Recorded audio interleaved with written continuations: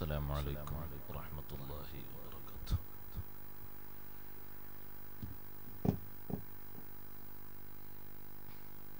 بسم الله الرحمن الرحيم. الحمد لله رب العالمين. نحمده ونستعينه ونؤمن به ونتوكل عليه. ونعوذ بالله من شرور أنفسنا ومن سيئات أعمالنا. من يهده الله فلا مضل له ومن يضلل فلا هادي له. نشهد أن لا إله إلا الله وحده لا شريك له. ونشهد أن سيدنا ونبينا ومولانا محمدا صلى الله عليه وسلم عبده ورسوله.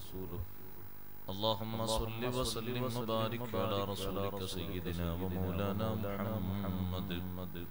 وعلى آل وأصحاب سيدنا ومولانا محمد.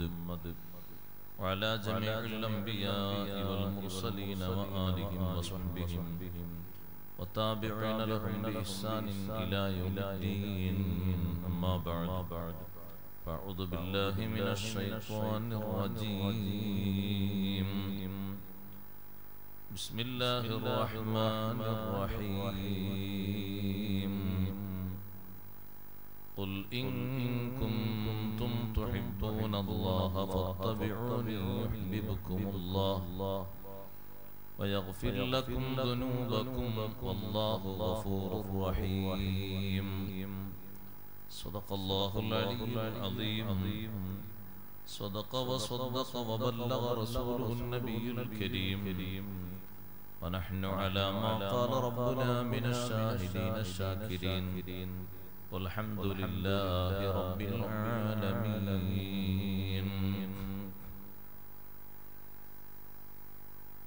يا سيدي جد لي فجودك منتظر.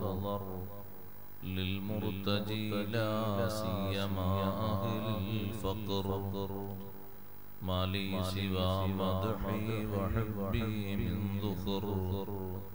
فهم الذخيرة لي ونعم المدخر. بهما رجائي أن عيني قد تقر. إذ ما يقابل كل ساع بالأجر يا ربي صل على النبي محمد منجي الخلائق من جهنم في غدي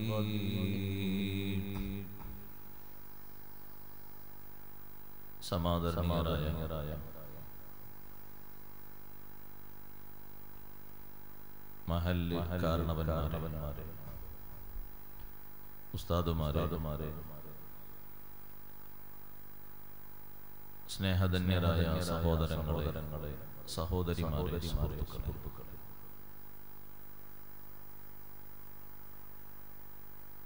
പുതുവർഷത്തിന്റെ പുണ്യ പുലരിയിൽ അള്ളാഹു ഇഷ്ടപ്പെടുന്ന നല്ല നേരത്ത് നല്ലതുമായി ബന്ധപ്പെട്ട് നാം ചെലവഴിക്കുന്ന ഈ നല്ല സന്ദർഭങ്ങൾ. ഈ ഒരു വർഷത്തിന്റെതെന്നല്ല ജീവിതകാലം മുഴുക്കയും ഉപകാരപ്രദമായ കർമ്മമായി അള്ളാഹു നമ്മിൽ നിന്ന് സ്വീകരിക്കുമാറാകട്ടെ. ഒരുപാട് കാലം കാലം വിശുദ്ധ ദീനിന് വേണ്ടി ആത്മാർത്ഥമായി സേവനം ചെയ്യാൻ ചെയ്യാൻ നമുക്കും നമ്മുടെ മാതാപിതാക്കൾ ഉസ്താദുമാർ. സ്നേഹജനങ്ങൾ വിശിഷ്യ. ഈ സ്വലാത്ത് മജിലിസുമായി സഹകരിച്ച് സഹായിച്ച് മനസ്സാ വാച കർമ്മണ ഒത്താശകൾ ചെയ്യുന്ന മുഴുവൻ സഹോദരി സഹോദരങ്ങൾക്കും അള്ളാഹു ആഫിയത്തുള്ള ദീർഘായുസ് നൽകുമാറാകട്ടെ. നല്ല നിലയിൽ വർത്തിച്ച് നല്ല നിലയിൽ മരണപ്പെട്ട് മഹാരഥന്മാരോടൊപ്പം ഒത്തുകൂടാൻ കഴിയുന്നവരിൽ അവരെയും നമ്മെയും അള്ളാഹു ഉൾപ്പെടുത്തുമാറാകട്ടെ. ആമീൻ പ്രാർത്ഥിക്കുന്നു. വിശുദ്ധ ഖുർആാനിൽ നിന്ന് വിശ്വാസികൾ ഏറ്റവും കൂടുതൽ കൂടുതൽ സ്നേഹിക്കേണ്ടത് ഇഷ്ടം വെക്കേണ്ടത്. ആരെയാണ് എങ്ങനെയാണ് എന്നുള്ള ചോദ്യങ്ങൾക്ക് ചെറിയ തരത്തിൽ ഉത്തരം കണ്ടെത്തുകയാണ് ഇന്ന്. ഇന്ന്. ഖുർആനിലെ വിശ്വാസികൾ എന്ന എന്ന തലക്കെട്ടിൽ വരുന്ന ദിവസങ്ങളിലൊക്കെ നാം പറയുന്ന കേൾക്കുന്ന വിഷയങ്ങൾ നമ്മുടെ ജീവിതത്തിലെ എല്ലാ ഭാഗങ്ങളിലും ഉപയോഗപ്പെടുത്തി അള്ളാഹു സ്വീകരിക്കുന്ന വിശ്വാസിയാകാൻ ഭാഗ്യം ചെയ്യപ്പെടുന്നവരിൽ അള്ളാഹു നമ്മയും നമ്മുടെ ശബ്ദം ശ്രവിക്കുന്ന സർവരെയും ഉൾപ്പെടുത്തി അനുഗ്രഹിക്കുമാറാകട്ടെ. നമ്മുടെ വിശ്വാസത്തിന്റെ ഈമാനിന്റെ കാതലായ വശം. ആ ഈമാൻ നമുക്ക് ഔദാര്യമായി പകർന്നു നൽകിയ. നൽകിയ ഈമാൻ നമുക്ക് ഓശാരമായി തന്ന. ജഗന്നിയന്താവായ കൂടുതൽ ഇഷ്ടം വെക്കലാണ്. അതിനേറ്റവും വലിയ കാരണമായി വർത്തിച്ച സയ്യിദുൽ വജൂദ് ഹബീബ് റസൂലുള്ളാഹി സ്വല്ലല്ലാഹു അലൈഹി വസല്ലം തങ്ങളെ അതിരറ്റ് ഇഷ്ടം വെക്കുകയും ആ ഇഷ്ടത്തിന്റെ അടയാളങ്ങൾ നമ്മുടെ ജീവിതത്തിൽ കൂടുതലായി പ്രതിധ്വനിക്കുകയും പ്രതിഫലിക്കുകയും വേണം. അള്ളാഹുവിനോട് കൂടുതൽ ഇഷ്ടമുണ്ടെങ്കിൽ സാധാരണ ആളുകൾ ഇഷ്ടം വെക്കുന്നതിനോടെല്ലാം ഇഷ്ടം കുറവായിരിക്കും. വല്ലദീന ആമനു അഷദ്ദു സൂറത്തുൽ ബഖറയിലൂടെ അള്ളാഹു നമ്മെ പഠിപ്പിച്ചു. വല്ലദീന ആമനു അഷദ്ദു ഹബ്ബൻ ലില്ലാഹ്. ഈമാനുള്ളവർ ഏറ്റവും അധികം ഇഷ്ടം വെക്കുന്നത് അള്ളാഹുവിനെയാണ് അള്ളാഹുവിനെ ഇഷ്ടം വെക്കുന്നതിൽ മറ്റു കാര്യങ്ങളൊക്കെ തടസ്സമായി വരുന്നുണ്ടെങ്കിൽ അത് നീക്കാനും തള്ളി മാറ്റാനുമുള്ള കരുത്ത് കരുത്ത് ഈമാൻ കൊണ്ട് നാം നേടിയെടുക്കണം. കാരണം അള്ളാഹു നൽകിയ അനുഗ്രഹങ്ങളിലെ ഏറ്റവും വലിയ അനുഗ്രഹം ഈമാനാണ്. എത്ര വില കൊടുത്താലും എത്ര ക്ഷീണം അനുഭവിക്കേണ്ടി വന്നാലും എത്ര പ്രതിസന്ധികൾ തരണം ചെയ്യേണ്ടി വന്നാലും ഈമാനിനോളം അള്ളാഹു നൽകിയ ഏറ്റവും വലിയ അനുഗ്രഹമായി കണക്കാക്കാൻ പറ്റിയ ഒന്ന് ലോകത്ത് വേറെയില്ല. സമ്പത്താണ് അള്ളാഹു ഏറ്റവും വലിയ അനുഗ്രഹമായി തന്നു എന്ന് ആരെങ്കിലും സങ്കല്പിക്കുന്നത് എങ്കിൽ എങ്കിൽ ഏറ്റവും വലിയ കോടീശ്വരനായിരുന്നു ലോകത്ത് കഴിഞ്ഞുപോയ ഖാറൂൻ. ഖാറൂനിന്റെ സമ്പത്തിന്റെ ഏകദേശം ഒരു ശതമാനം പോലും സമ്പത്ത് കൈക്കലാക്കി വെക്കാൻ ശേഷമുള്ള ആളുകൾ ആരും പിറന്നിട്ടില്ല. ഖാറൂനിന്റെ സ്വത്തിന്റെ ആധിക്യത്തെ പറ്റി അള്ളാഹു പറയുന്നത് അതിശക്തരായ ഒട്ടകങ്ങൾക്ക് മാത്രം വഹിക്കാനുള്ള താക്കോലിന്റെ ഖജനാവിന്റെ താക്കോലുകൾ ഉണ്ടായിരുന്നു ഖജാനയിൽ സൂക്ഷിച്ചു വച്ച സ്വത്തിന്റെ കണക്കല്ല പറഞ്ഞത്. ഖജനാവിന്റെ താക്കോലുകൾ ഭാരം ചുമക്കാൻ ഒരൊട്ടകൾ എത്ര ടൺ കണക്കിന് ഭാരം ചുമക്കും? ചുമക്കും? അത്തരത്തിൽ ആയിരക്കണക്കിന് വരുന്ന ഒട്ടകങ്ങൾ ഭാരം ചുമന്നു കൊണ്ടുപോകുന്നത് ഖജനാവിന്റെ താക്കോലുകളാണ്. പക്ഷെ അത്രയും വലിയ സമ്പന്നനായിട്ട് പോലും പോലും അള്ളാഹുവിനോടുള്ള ഇഷ്ടം കുറഞ്ഞ് കുറഞ്ഞ് അള്ളാഹുവിന്റെ നിയമങ്ങൾ മുഴുവനും കഴിയിച്ച് ബഹുമാനപ്പെട്ട കലീമുല്ലാഹി മൂസ നിശിതമായി വിമർശിക്കുകയും എതിർക്കുകയും സമൂഹത്തിൽ താറടിക്കുകയും ചെയ്തപ്പോൾ അവന്റെ ഈമാൻ അള്ളാഹു അവനിൽ നിന്ന് ഊരി ഊരി എന്നേക്കും നഷ്ടം സംഭവിച്ചവരിൽ അവൻ ഇടം നേടി. ഇവിടെയാണ് നമ്മൾ മനസ്സിലാക്കേണ്ട കാതലായ വശം. വശം. അള്ളാഹു നമുക്ക് നൽകിയ ഏറ്റവും വലിയ അനുഗ്രഹം ഔദാര്യമായ അള്ളാഹു തരുന്ന അനുഗ്രഹം ഈമാനാണ്. നമ്മുടെ നേതാക്കളായ സ്വഹാബത്ത് വളരെ കഷ്ടപ്പെട്ട് നടത്തിയ സമരമുഖങ്ങളിലെ ഒരു സമരമുഖമാണല്ലോ.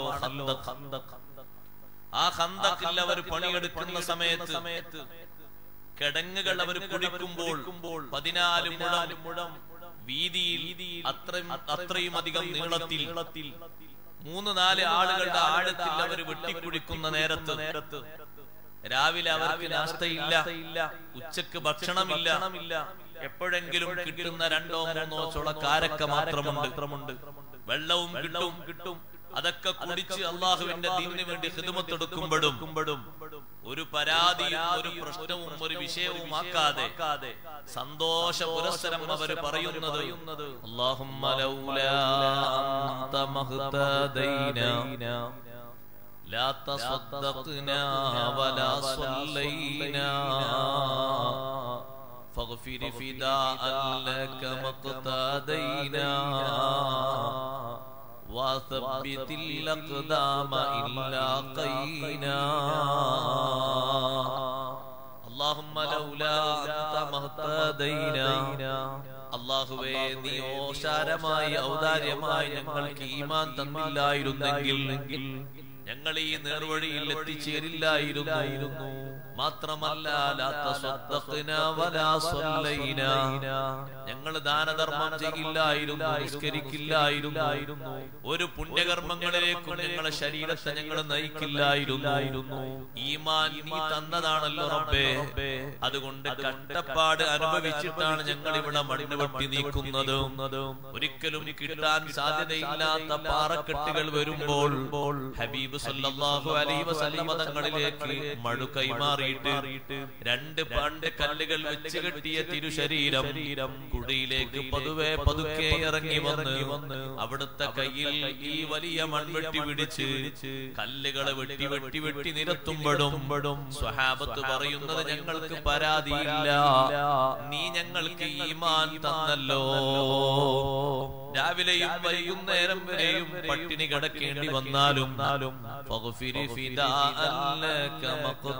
ما اقتدينا وثبت الأقدام إلا قينا അള്ളാഹുവേ നിനക്ക് സർവ്വതും സമർപ്പിക്കാൻ ഞങ്ങൾ സജ്ജരാണ് നിങ്ങൾക്ക് എന്ത് വേണമെന്ന് നിനക്ക് എന്ത് വേണമെങ്കിലും തരാൻ ഞങ്ങൾ ഒരുക്കമാണ് ഞങ്ങൾ ഏതെങ്കിലും അടർക്കളത്തിൽ അടരാൻ ആടാൻ വേണ്ടി പോവുകയാണെങ്കിൽ ഞങ്ങളെ പാദങ്ങൾക്ക് ശരിയായ ഉറപ്പ് നീ തരണം തരണം ഒരിക്കലും പതറിപ്പോകാത്ത പാദം തരണം അതിനു മാത്രം സ്ഥൈര്യം തരണം. തരണം സ്വഹാബത്തി ചോദിക്കുന്നത് ഈമാൻ മുന്നോട്ട് വെച്ചാണ്. അള്ളാഹുവാണ് ഈമാൻ ഔദാര്യമായി തന്നത്. അതുകൊണ്ട് തന്നെ ഏറ്റവും അധികം ഇഷ്ടം വെക്കേണ്ടതും അള്ളാഹുവിനെയാണ് അങ്ങനെയാണ് അമ്പിയാക്കൾക്ക് അള്ളാഹു സവിശേഷമായ സ്ഥാനങ്ങൾ നൽകിയത്. ലോകത്തെ ഏറ്റവും കൂടുതൽ അള്ളാഹുവിനെ ഇഷ്ടം വെക്കുന്നവർ മിനുകളിൽ അമ്പിയാക്കളാണ്. അമ്പിയാക്കളിലെ ഏറ്റവും അധികം അള്ളാഹുവിനെ ഇഷ്ടം വെച്ചത് ഹബീബ് മുഹമ്മദ് റസൂലുള്ളാഹി സ്വല്ലല്ലാഹു അലൈഹി വസല്ലമ തങ്ങളാണ്. ആ ഇഷ്ടത്തിന്റെ ഏറ്റവും വലിയ അടയാളമായിട്ടാണ് തങ്ങളെ ഒന്ന് കാണാനും അള്ളാഹുവിനെ ഒന്ന് കാണാനും. അമ്പിയാക്കളിൽ ആരെയും ഇതുപോലെ അള്ളാഹു ക്ഷണിച്ചു വരുത്തിയിട്ടില്ല. സന്ദർഭങ്ങൾ കൊടുത്തിട്ടില്ല.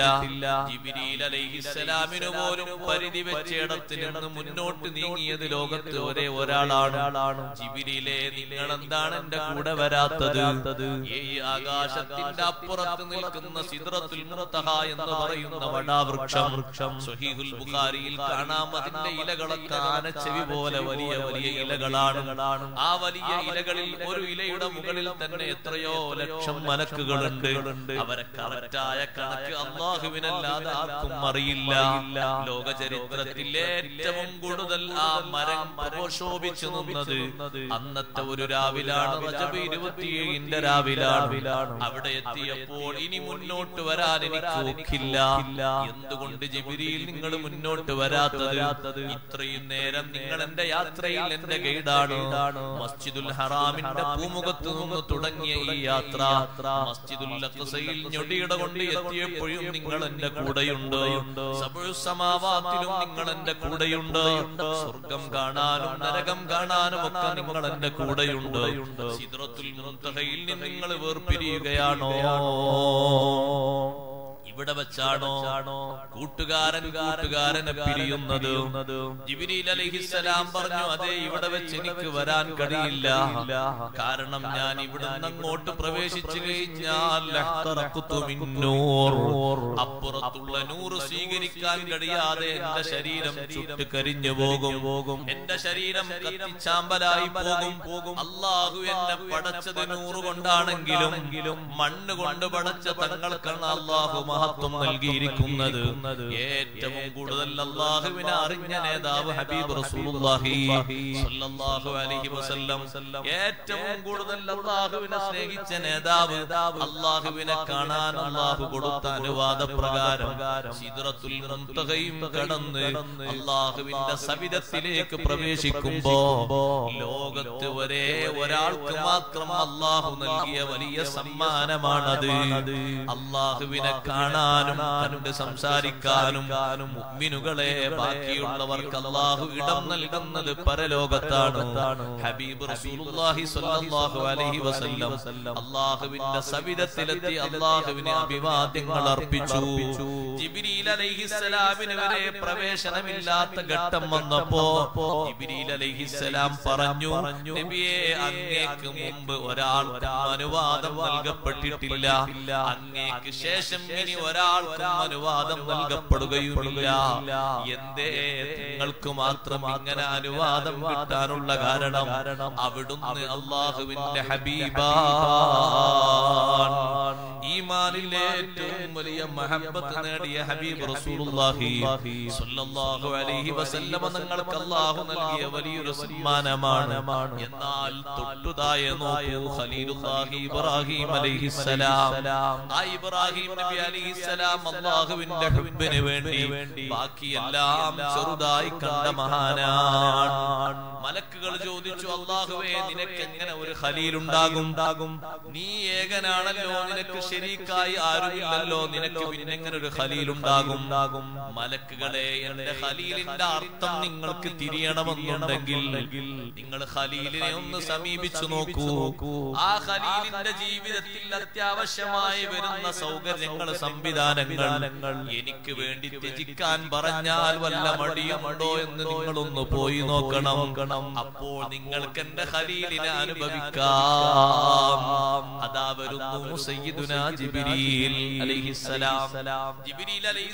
മനുഷ്യവേഷത്തിൽ വന്നു. വന്നു. ബഹുമാനപ്പെട്ട ഇബ്രാഹിം നബി അലൈഹിസ്സലാം. അല്ലാഹു സുബ്ഹാനഹു വ നൽകിയ സമ്പത്ത് അനുസരിച്ച് ഇബ്രാഹിം നബി അലൈഹിസ്സലാമിന് ഒട്ടകങ്ങളുണ്ട്. ആടുകളുണ്ട്. മാടുകളുണ്ട് ഇഷ്ടം പോലെയുണ്ട്. ജിബ്രീൽ അലൈഹിസ്സലാം ഒന്ന് ചോദിക്കുന്നത് മലക്കാണ് എന്നുള്ള വിഷയം പറയാതെ മനുഷ്യവേഷത്തിൽ വന്ന് ചോദിക്കുന്നത് നിങ്ങൾ അള്ളാഹുവിന്റെ ഖലീലല്ലയോ? അതെ ഞാൻ അള്ളാഹുവിന്റെ ഖലീലാണ്. റബ്ബിന് വേണ്ടി എന്തും തരാ നിങ്ങൾ ഒരുക്കമാണോ? എന്തും തരാൻ ഞാൻ ഒരുക്കമാണ്. എന്നാൽ നിങ്ങൾക്ക് അള്ളാഹു നൽകിയ സമ്പത്തിൽ നിന്നൊരു ഭാഗം ഭാഗം നിങ്ങൾ എനിക്ക് തന്നേക്കുമോ? ഇത് ചോദിക്കുമ്പോ ഖലീലുല്ലാഹി ഇബ്രാഹിം അലഹിസ്സലാമിന്റെ മുന്നിൽ ഒരു തടസ്സവുമില്ല. ഇബ്രാഹിം നബി അലഹിസ്സലാം പറയുന്നത് നിങ്ങൾ അള്ളാഹുവിനെ ഒന്ന് വാഴ്ത്തിക്കോളൂ.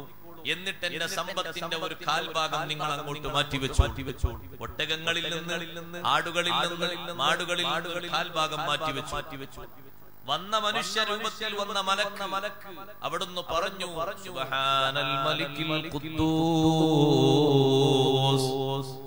അള്ളാഹുവിന്റെ പരിശുദ്ധി വാഴ്ത്തിക്കൊണ്ടൊരു ദിക്ർ ചൊല്ലി. ചൊല്ലി നമ്മളെല്ലാവരും നിസ്കാര ശേഷം ചൊല്ലൽ സുന്നത്തുള്ള ദിക്റാണ്. സുബ്ഹാനൽ മലിക്കിൽ ഖുദ്ദൂസ്.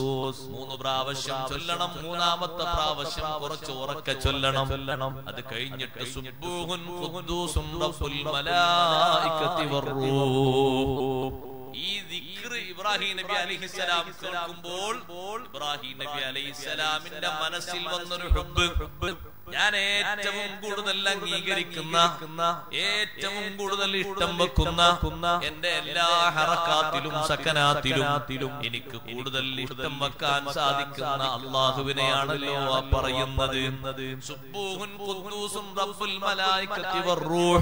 എന്ന അലൈഹിസ്സലാം ചൊല്ലിയപ്പോൾ വൈകേണ്ടതില്ല എന്റെ സ്വത്തിന്റെ കാൽഭാഗം നിങ്ങൾ എടുത്തു നീക്കിക്കോളൂ. അതിന് ഒരു ഭാഗത്തേക്ക് നിങ്ങളുടേതായി നിങ്ങൾ തെളിച്ച് നീക്കി വെച്ചോളൂ. രണ്ടാമതും ചൊല്ലി റബ്ബുൽ നിങ്ങൾ താമസിക്കേണ്ടതില്ല. എന്റെ സ്വത്തിന്റെ പകുതി ഭാഗം നിങ്ങൾ എടുത്തോളൂ. ബാക്കിയുള്ളതിൽ നിന്ന് പകുതി ഭാഗം എടുത്തോളൂ. അതാ ഒരു ഭാഗത്തേക്ക് ആട്ടിൻ പറ്റങ്ങളെയും ഒട്ടകക്കൂട്ടങ്ങളെയും പശുക്കുട്ടികളെയും ഒക്കെ നീക്കി വെക്കുന്നു. മൂന്നാമതും ചൊല്ലി റബ്ബുൽ വറൂഹ് മുഴുവൻ സമ്പത്തും ആടുകളെയും ഒട്ടകങ്ങളെയും ആടുകളെയും നീക്കി വെക്കുകയാണ് ഇബ്രാഹിം നബി അലൈസലാം പറയുന്നത്. നാലാമതും ഇനി നിങ്ങൾ ചൊല്ലിയാൽ നിങ്ങൾക്കൊരു ഹിദ്മത്ത് ചെയ്യുന്ന അടിമയായി ഞാൻ കൂടെ വരാം. കാരണം നിങ്ങൾ ഞാൻ ഏറ്റവും അധികം ഇഷ്ടം വെക്കുന്ന റബ്ബിനെയാണല്ലോ നിങ്ങൾ പറയുന്നത്. റബ്ബിനെ പറയുമ്പോഴേക്ക് എന്റെ മനസ്സിൽ വരുന്ന സന്തോഷം അനിർവചനീയമാണ് അള്ളാഹുവിനെ പറയുമ്പോഴേക്ക് എനിക്ക് കിട്ടുന്ന സുഖത്തിന് അതിർവരമ്പുകളില്ല. അതുകൊണ്ട് നാലാമത് നിങ്ങൾ ചൊല്ലിയാൽ സമ്പത്ത് മുഴുവനും നിങ്ങൾക്ക് നീക്കി തന്നു. ആ സമ്പത്തിന്റെ കാവൽക്കാരായിട്ട് ഞാൻ ഇവിടെ കൊണ്ടുപോകാറുള്ളത് നായകളെയാണ്. ബഹുമാനപ്പെട്ട അലൈഹിസ്സലാമിനോട് പന്ത്രണ്ട് നായകളെയും കൊണ്ടുപോകാൻ പറഞ്ഞു. പറഞ്ഞു ആ പന്ത്രണ്ട് നായകളെ നീക്കി വെക്കുമ്പോ ജിബിരിൽ അലൈഹിസ്സലാം നോക്കുമ്പോ നായയുടെ കഴുത്തിലൊക്കെ നല്ല സ്വർണമാലയുണ്ട്. നായയുടെ കഴുത്തിൽ ആ സ്വർണമാല. സ്വർണത്തിന് അത്ര വലുപ്പേ ഉള്ളൂ. വലുപ്പമുള്ളത് ഏറ്റവും കൂടുതൽ സ്ഥാനവും ബഹുമാനൊക്കെ കൽവിലുള്ളത് അള്ളാഹിനോട് മാത്രം അല്ലെങ്കിൽ നായന്റെ കഴുത്തിൽ ആരോ സ്വർണമാല കിട്ടും. ഇബ്രാഹിം നബി അലി ഇസ്ലാം പന്ത്രണ്ട് നായകളെയും കൊടുത്തു. ഈ നായകൾ അവർക്കുള്ള കാവൽക്കാരാണ്. രാവിലെ കൊണ്ടുപോയി വൈകുന്നേരം കൂട്ടിലേക്ക് തെളിച്ചു കൊണ്ടുവരുമ്പോ അതിന് കാർമികത്വം വഹിക്കുന്നത് ഈ നായകളാണ്. ഇനി അവർക്ക് ഭക്ഷണം കൊടുക്കാനും പുല്ല് കൊടുക്കാനും ഞാൻ കുറച്ച് ഇടയന്മാരെ വെച്ചിട്ടുണ്ട്. അവരെയും അവർ കൊണ്ടുപോയി കൊണ്ടുപോയി ഇതെല്ലാറ്റിനെയും നീക്കി കൊടുത്തു കൊടുത്തു ഇബ്രാഹിം നബി അലഹിസ്സലാമിന്റെ അള്ളാഹുവിനോടുള്ള ഈ ആഭിമുഖ്യം ഈ ഇത് നന്നായി അനുഭവിച്ചപ്പോൾ അള്ളാഹു ചോദിച്ചു ജിബ്രീൽ അലൈഹിസ്സലാമിനോട്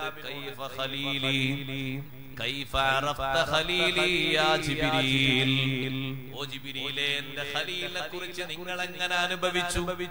ആ സമയത്ത് ജിബ്രീൽ അലൈഹിസ്സലാം പറഞ്ഞു ഖലീലു നിന്റെ ഖലീൽ നിന്റെ ഖലീൽ തന്നെയാണ്. എനിക്ക് തിരുത്താൻ പറ്റൂല. എനിക്ക് ഒന്നും തിരിച്ചു പറയാൻ കഴിയൂല. കാരണം ജീവിതത്തിന്റെ വിഷയങ്ങൾക്ക് ആവശ്യമായിട്ടുള്ള നിത്യോപയോഗ വസ്തുക്കളാണ് അള്ളാഹുവിനെ ചൊല്ലി തന്നിരിക്കുന്നത്. റബ്ബ് താലയെ പറഞ്ഞപ്പോൾ ഇനി ഇനിയും പറയുകയാണെങ്കിൽ അവിടുത്തെ ശരീരം ഹിതമത്തിന് വേണ്ടി പിന്നാലെ കൊണ്ട് നടത്തി തരാം. ഒരു മടിയും എനിക്കില്ല. വല്ലദീന ആമനു ലില്ലാഹ് ഈമാനുള്ളവർ ഏറ്റവും കടുത്ത സ്നേഹം സ്നേഹിക്കുന്നത് ഏറ്റവും നല്ല സ്നേഹം സ്നേഹിക്കുന്നത് കൂടുതൽ ഇഷ്ടം വെക്കുന്നത് അള്ളാഹുവിനെയാണ് റബ്ബിനെ ഇഷ്ടം വെക്കാൻ അള്ളാഹു നമുക്ക് കൂടുതൽ തൗഫീഖ് നൽകട്ടെ അള്ളാഹുവിനോട് കൂടുതൽ ഇഷ്ടമുണ്ടോ അള്ളാഹുവിനോട് കൂടുതൽ താല്പര്യമുണ്ടോ റബ്ബിനോട് കൂടുതൽ ശുക്രുണ്ടോ കൂടുതൽ ഓർമ്മയുണ്ടോ കൂടുതൽ ഫിക്റുണ്ടോ എന്നാൽ നമ്മൾ വലുതായി കാണുന്നതൊക്കെ നമുക്ക് ചെറുതാണ് ഏറ്റവും വലുത് അല്ലാഹു മാത്രമാണ് ആ റബ്ബിലേക്ക് വിളിക്കുമ്പോ ആ റബ്ബിന്റെ മാർഗത്തിലേക്ക് വിളിക്കുമ്പോ സ്വന്തം കുടുംബത്തിൽ ഭാര്യയോടുകൂടെ ആദ്യ രാത്രി കഴിയേണ്ട സ്വഹാബിമാരി ഇറങ്ങി പുറപ്പെട്ടത്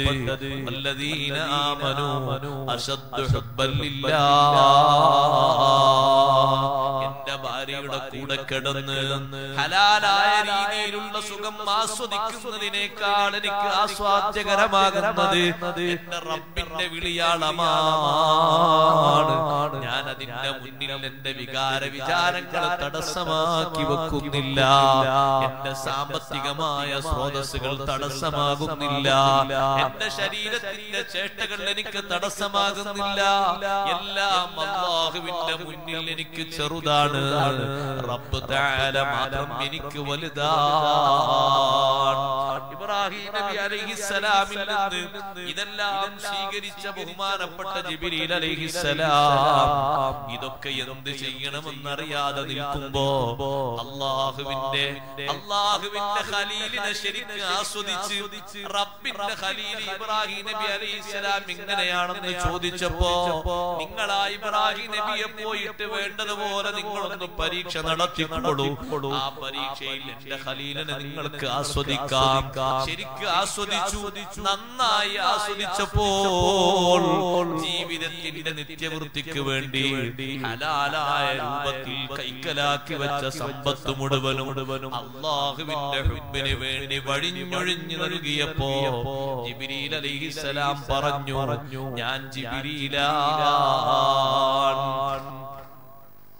നിങ്ങളെ ഒന്ന് ടെസ്റ്റ് ചെയ്യാൻ വേണ്ടി വന്നതാണ് വന്നതാണ്. അതുകൊണ്ട് ഈ തന്ന വസ്തു വകകളൊക്കെ തിരിച്ചെടുക്കണം. ജിബിരിൽ അലഹിസലാം തിരിച്ചെടുക്കാൻ വേണ്ടി പറഞ്ഞപ്പോ ഇബ്രാഹിം നബി അലഹിസലാം പറഞ്ഞു ഞാൻ അള്ളാഹുവിന്റെ ഹലിയിലാണ് കൊടുത്തതൊന്നും തിരിച്ചു വാങ്ങുന്ന പ്രശ്നമല്ല. നിങ്ങൾ വാങ്ങിയത് മുഴുവനും നിങ്ങൾക്ക് തന്നത് മുഴുവനും കൊണ്ടുപോയിക്കോളണം ഒന്നും ഇവിടെ വെക്കാൻ പറ്റൂല. പറ്റൂല. തിരിച്ചു തന്നാൽ ഇനിയും സ്വീകരിക്കണമെന്ന മോഹത്തോടെ അല്ല ഞാൻ തന്നത്. തന്നത്. ഞാൻ അത് തന്ന പ്രശ്നത്തിൽ എന്റെ മനസ്സിൽ വ്യാകുലതകളോ അത് പരിഭവങ്ങളോ ഒന്നും എന്റെ മനസ്സിലുള്ള പൂർണ സന്തോഷവാനാണ്. ഇത്രയും കൊടുത്തല്ലോ എന്ന നിലയ്ക്ക് ഞാൻ കൊടുത്തത് വലുതായി പോയി എന്നൊരു തോന്നലും എനിക്കില്ല. അതുകൊണ്ടാണ് നിങ്ങൾ ഇനിയും ഖുദ്ദൂസുൻ പറയുകയാണെങ്കിൽ എന്റെ ശരീരം ഞാൻ അള്ളാഹുവിന്റെ അടിമയാണ്. നിങ്ങൾക്ക് ഹിതമത്തിലായിട്ട് ഞാൻ വരും. അപ്പോഴും എന്റെ ശരീരം എനിക്ക് ചെറുതായിട്ടേ തോന്നുന്നുള്ളൂ. റബ്ബിന്റെ ദിക്ര എനിക്ക് വലുതായിട്ട് തോന്നുന്നുള്ളൂ. അതുകൊണ്ട് ഒറ്റൊന്നും ഇവിടെ വെക്കാൻ പാടില്ല. മൊത്തം കൊണ്ടുപോകണം പോകണം. അള്ളാഹുത്താലോട് ജിബ്രീൽ അലൈഹിസ്സലാം ചോദിച്ചു റബ്ബേ എന്ത് ചെയ്യാനാണ്? നിന്റെ ഖലീൽ നിന്റെ ഖലീൽ തന്നെയാണ് ഞാൻ സമ്മതിച്ചു സമ്മതിച്ചു. നിന്റെ ഖലീലിന് നിന്നോടുള്ള ഹുബ്ബല്ലാതെ മറ്റൊന്നും ഇല്ലെന്ന് ഞാൻ അനുഭവിച്ചു ഞാൻ എന്തു ചെയ്യണം? അള്ളാഹു പറഞ്ഞു എന്റെ ഖലീൽ അത് സ്വീകരിക്കില്ലെന്ന് ഉറപ്പാണ്. അതുകൊണ്ട് നിങ്ങൾ ഒരു കാര്യം ചെയ്യണം. ഈ കിട്ടിയ സമ്പത്ത് മുഴുവനും നിങ്ങൾ കൊണ്ടുപോയി വിൽപ്പന നടത്തിയിട്ട്.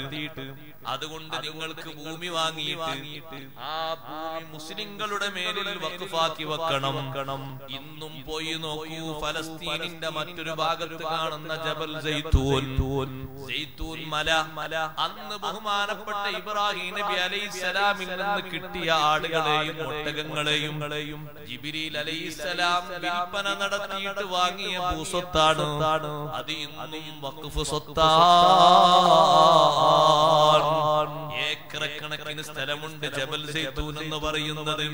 മസ്ജിദുൽ അഖ്സയിൽ നിന്ന് നോക്കിയാൽ കാണുന്ന മലയാണ് ജബൽ സൈത്തൂൻ. ആ സൈത്തൂൻ മലയിലാണ് ഇബ്രാഹിം നബി അലൈഹിസ്സലാം അന്തി ഉറങ്ങുന്നത്. അതെ അവിടുത്തെ ഇസ്ഹാഖ് നബി അലൈഹിസ്സലാം അന്തി ഉറങ്ങുന്നത്. യാക്കൂബ് നബി അലൈഹിസ്സലാമും യൂസുഫ് നബി അലൈഹിസ്സലാമും അന്തി ഉറങ്ങുന്നത്. ആ മലയുടെ ഒരു ഭാഗത്താണ്. അതന്ന് അങ്ങനെ വാങ്ങി വെച്ച സമ്പത്താണ്. തിരിച്ചൊന്നും ഇബ്രാഹിം നബി അലൈഹിസ്സലാം സ്വീകരിച്ചില്ല. ഇവിടെയാണ് നമ്മളൊരു കാര്യം മനസ്സിലാക്കേണ്ടത്. അള്ളാഹു ജല്ല ജലാലുഹു അവനോട് കൂടുതൽ ഇഷ്ടമുണ്ടോ? അവനോട് കൂടുതൽ താല്പര്യമുണ്ടോ? എന്നാൽ റബ്ബ് തരുന്ന നിയമങ്ങൾ റബ്ബ് തരുന്ന അനുഗ്രഹങ്ങൾ നന്നായി മനസ്സിലാക്കാനും അള്ളാഹുവിലേക്ക് കൂടുതൽ ഇഷ്ടം വെക്കാനും നമുക്ക് കഴിയണം. അതെ അതുകൊണ്ടാണ് അള്ളാഹുവിനെ കൂടുതൽ ഇഷ്ടമുള്ള മുമ്മിനാണോ അവനെ ഏറ്റവും കൂടുതൽ ഇഷ്ടം വെക്കേണ്ടത്? റബ്ബിന്റെ പരീക്ഷണങ്ങൾ വരുമ്പോഴാണ് ചരിത്രത്തിൽ അള്ളാഹുവിന്റെ പരീക്ഷണങ്ങൾ നേരിട്ട മഹാരഥന്മാരെമ്പാടുമുണ്ട്. ആ പരീക്ഷണ ഘട്ടത്തിൽ അവർ അള്ളാഹുവിലേക്ക് കൂടുതൽ മനസ്സ് നീക്കിയിരിക്കുകയാണ്. വേവലാദികളും പരാതികളും അവരെ മുന്നിലില്ല. ഇത്രയല്ലേ ഉള്ളൂ എന്ന നിലക്കല്ലേ അവർ കണ്ടത്. കഠിനമായ പ്രയാസം അനുഭവിച്ച സ്വഹാബിമാർ ഹബീബ് റസൂലുള്ളാഹി സ്വല്ലല്ലാഹു അലൈഹി വസല്ലം തങ്ങളെ മുന്നിൽ വന്ന് ആവലാതി പറഞ്ഞപ്പോ ഒരു പ്രയാസവും നിങ്ങൾക്കുണ്ടാകില്ല എന്നല്ല തങ്ങൾ അവരോട് പറഞ്ഞത്. കാമികളിലേക്കൊന്ന് നിങ്ങൾ നോക്കൂ. അവരെ ശരീരം നുറുനുറുങ്ങായി മുറിക്കപ്പെട്ടിട്ടും ഇഞ്ചിഞ്ചായി കഷ്ണം കഷ്ണമായി ഭാഗിക്കപ്പെട്ടിട്ടും അവരാരും ഈമാനിൽ നിന്ന് പിന്തിരിഞ്ഞിട്ടില്ലല്ലോ. നെറുകയിൽ കൊണ്ടുപോയി വാൾ വെച്ചിട്ട് ഇരുഭാഗങ്ങളിലാക്കി ഇരു പിളർപ്പുകളാക്കി അവരെ വിട്ടിട്ടും അവർ ഈമാനിൽ നിന്ന് പിന്തിരിഞ്ഞിട്ടില്ലല്ലോ. ഇപ്പോൾ നിങ്ങൾക്ക് വന്നത് സാമ്പത്തിക ബഹിഷ്കരണമല്ലേ? അല്ലെങ്കിൽ കുടുംബ ബഹിഷ്കരണമല്ലേ? അല്ലെങ്കിൽ നാട്ടുകാരുടെ ബഹിഷ്കരണമല്ലേ? മുൻഗാമികൾക്ക് ഇതിനേക്കാൾ വലിയ തീവ്രമായ രൂപത്തിൽ പരീക്ഷണങ്ങൾ വന്നിട്ട് ഒരാൾ പിറകോട്ട് പോയിട്ടില്ല. കാരണം അവർ കാത്തു സൂക്ഷിച്ചത് ഈമാനാണ്.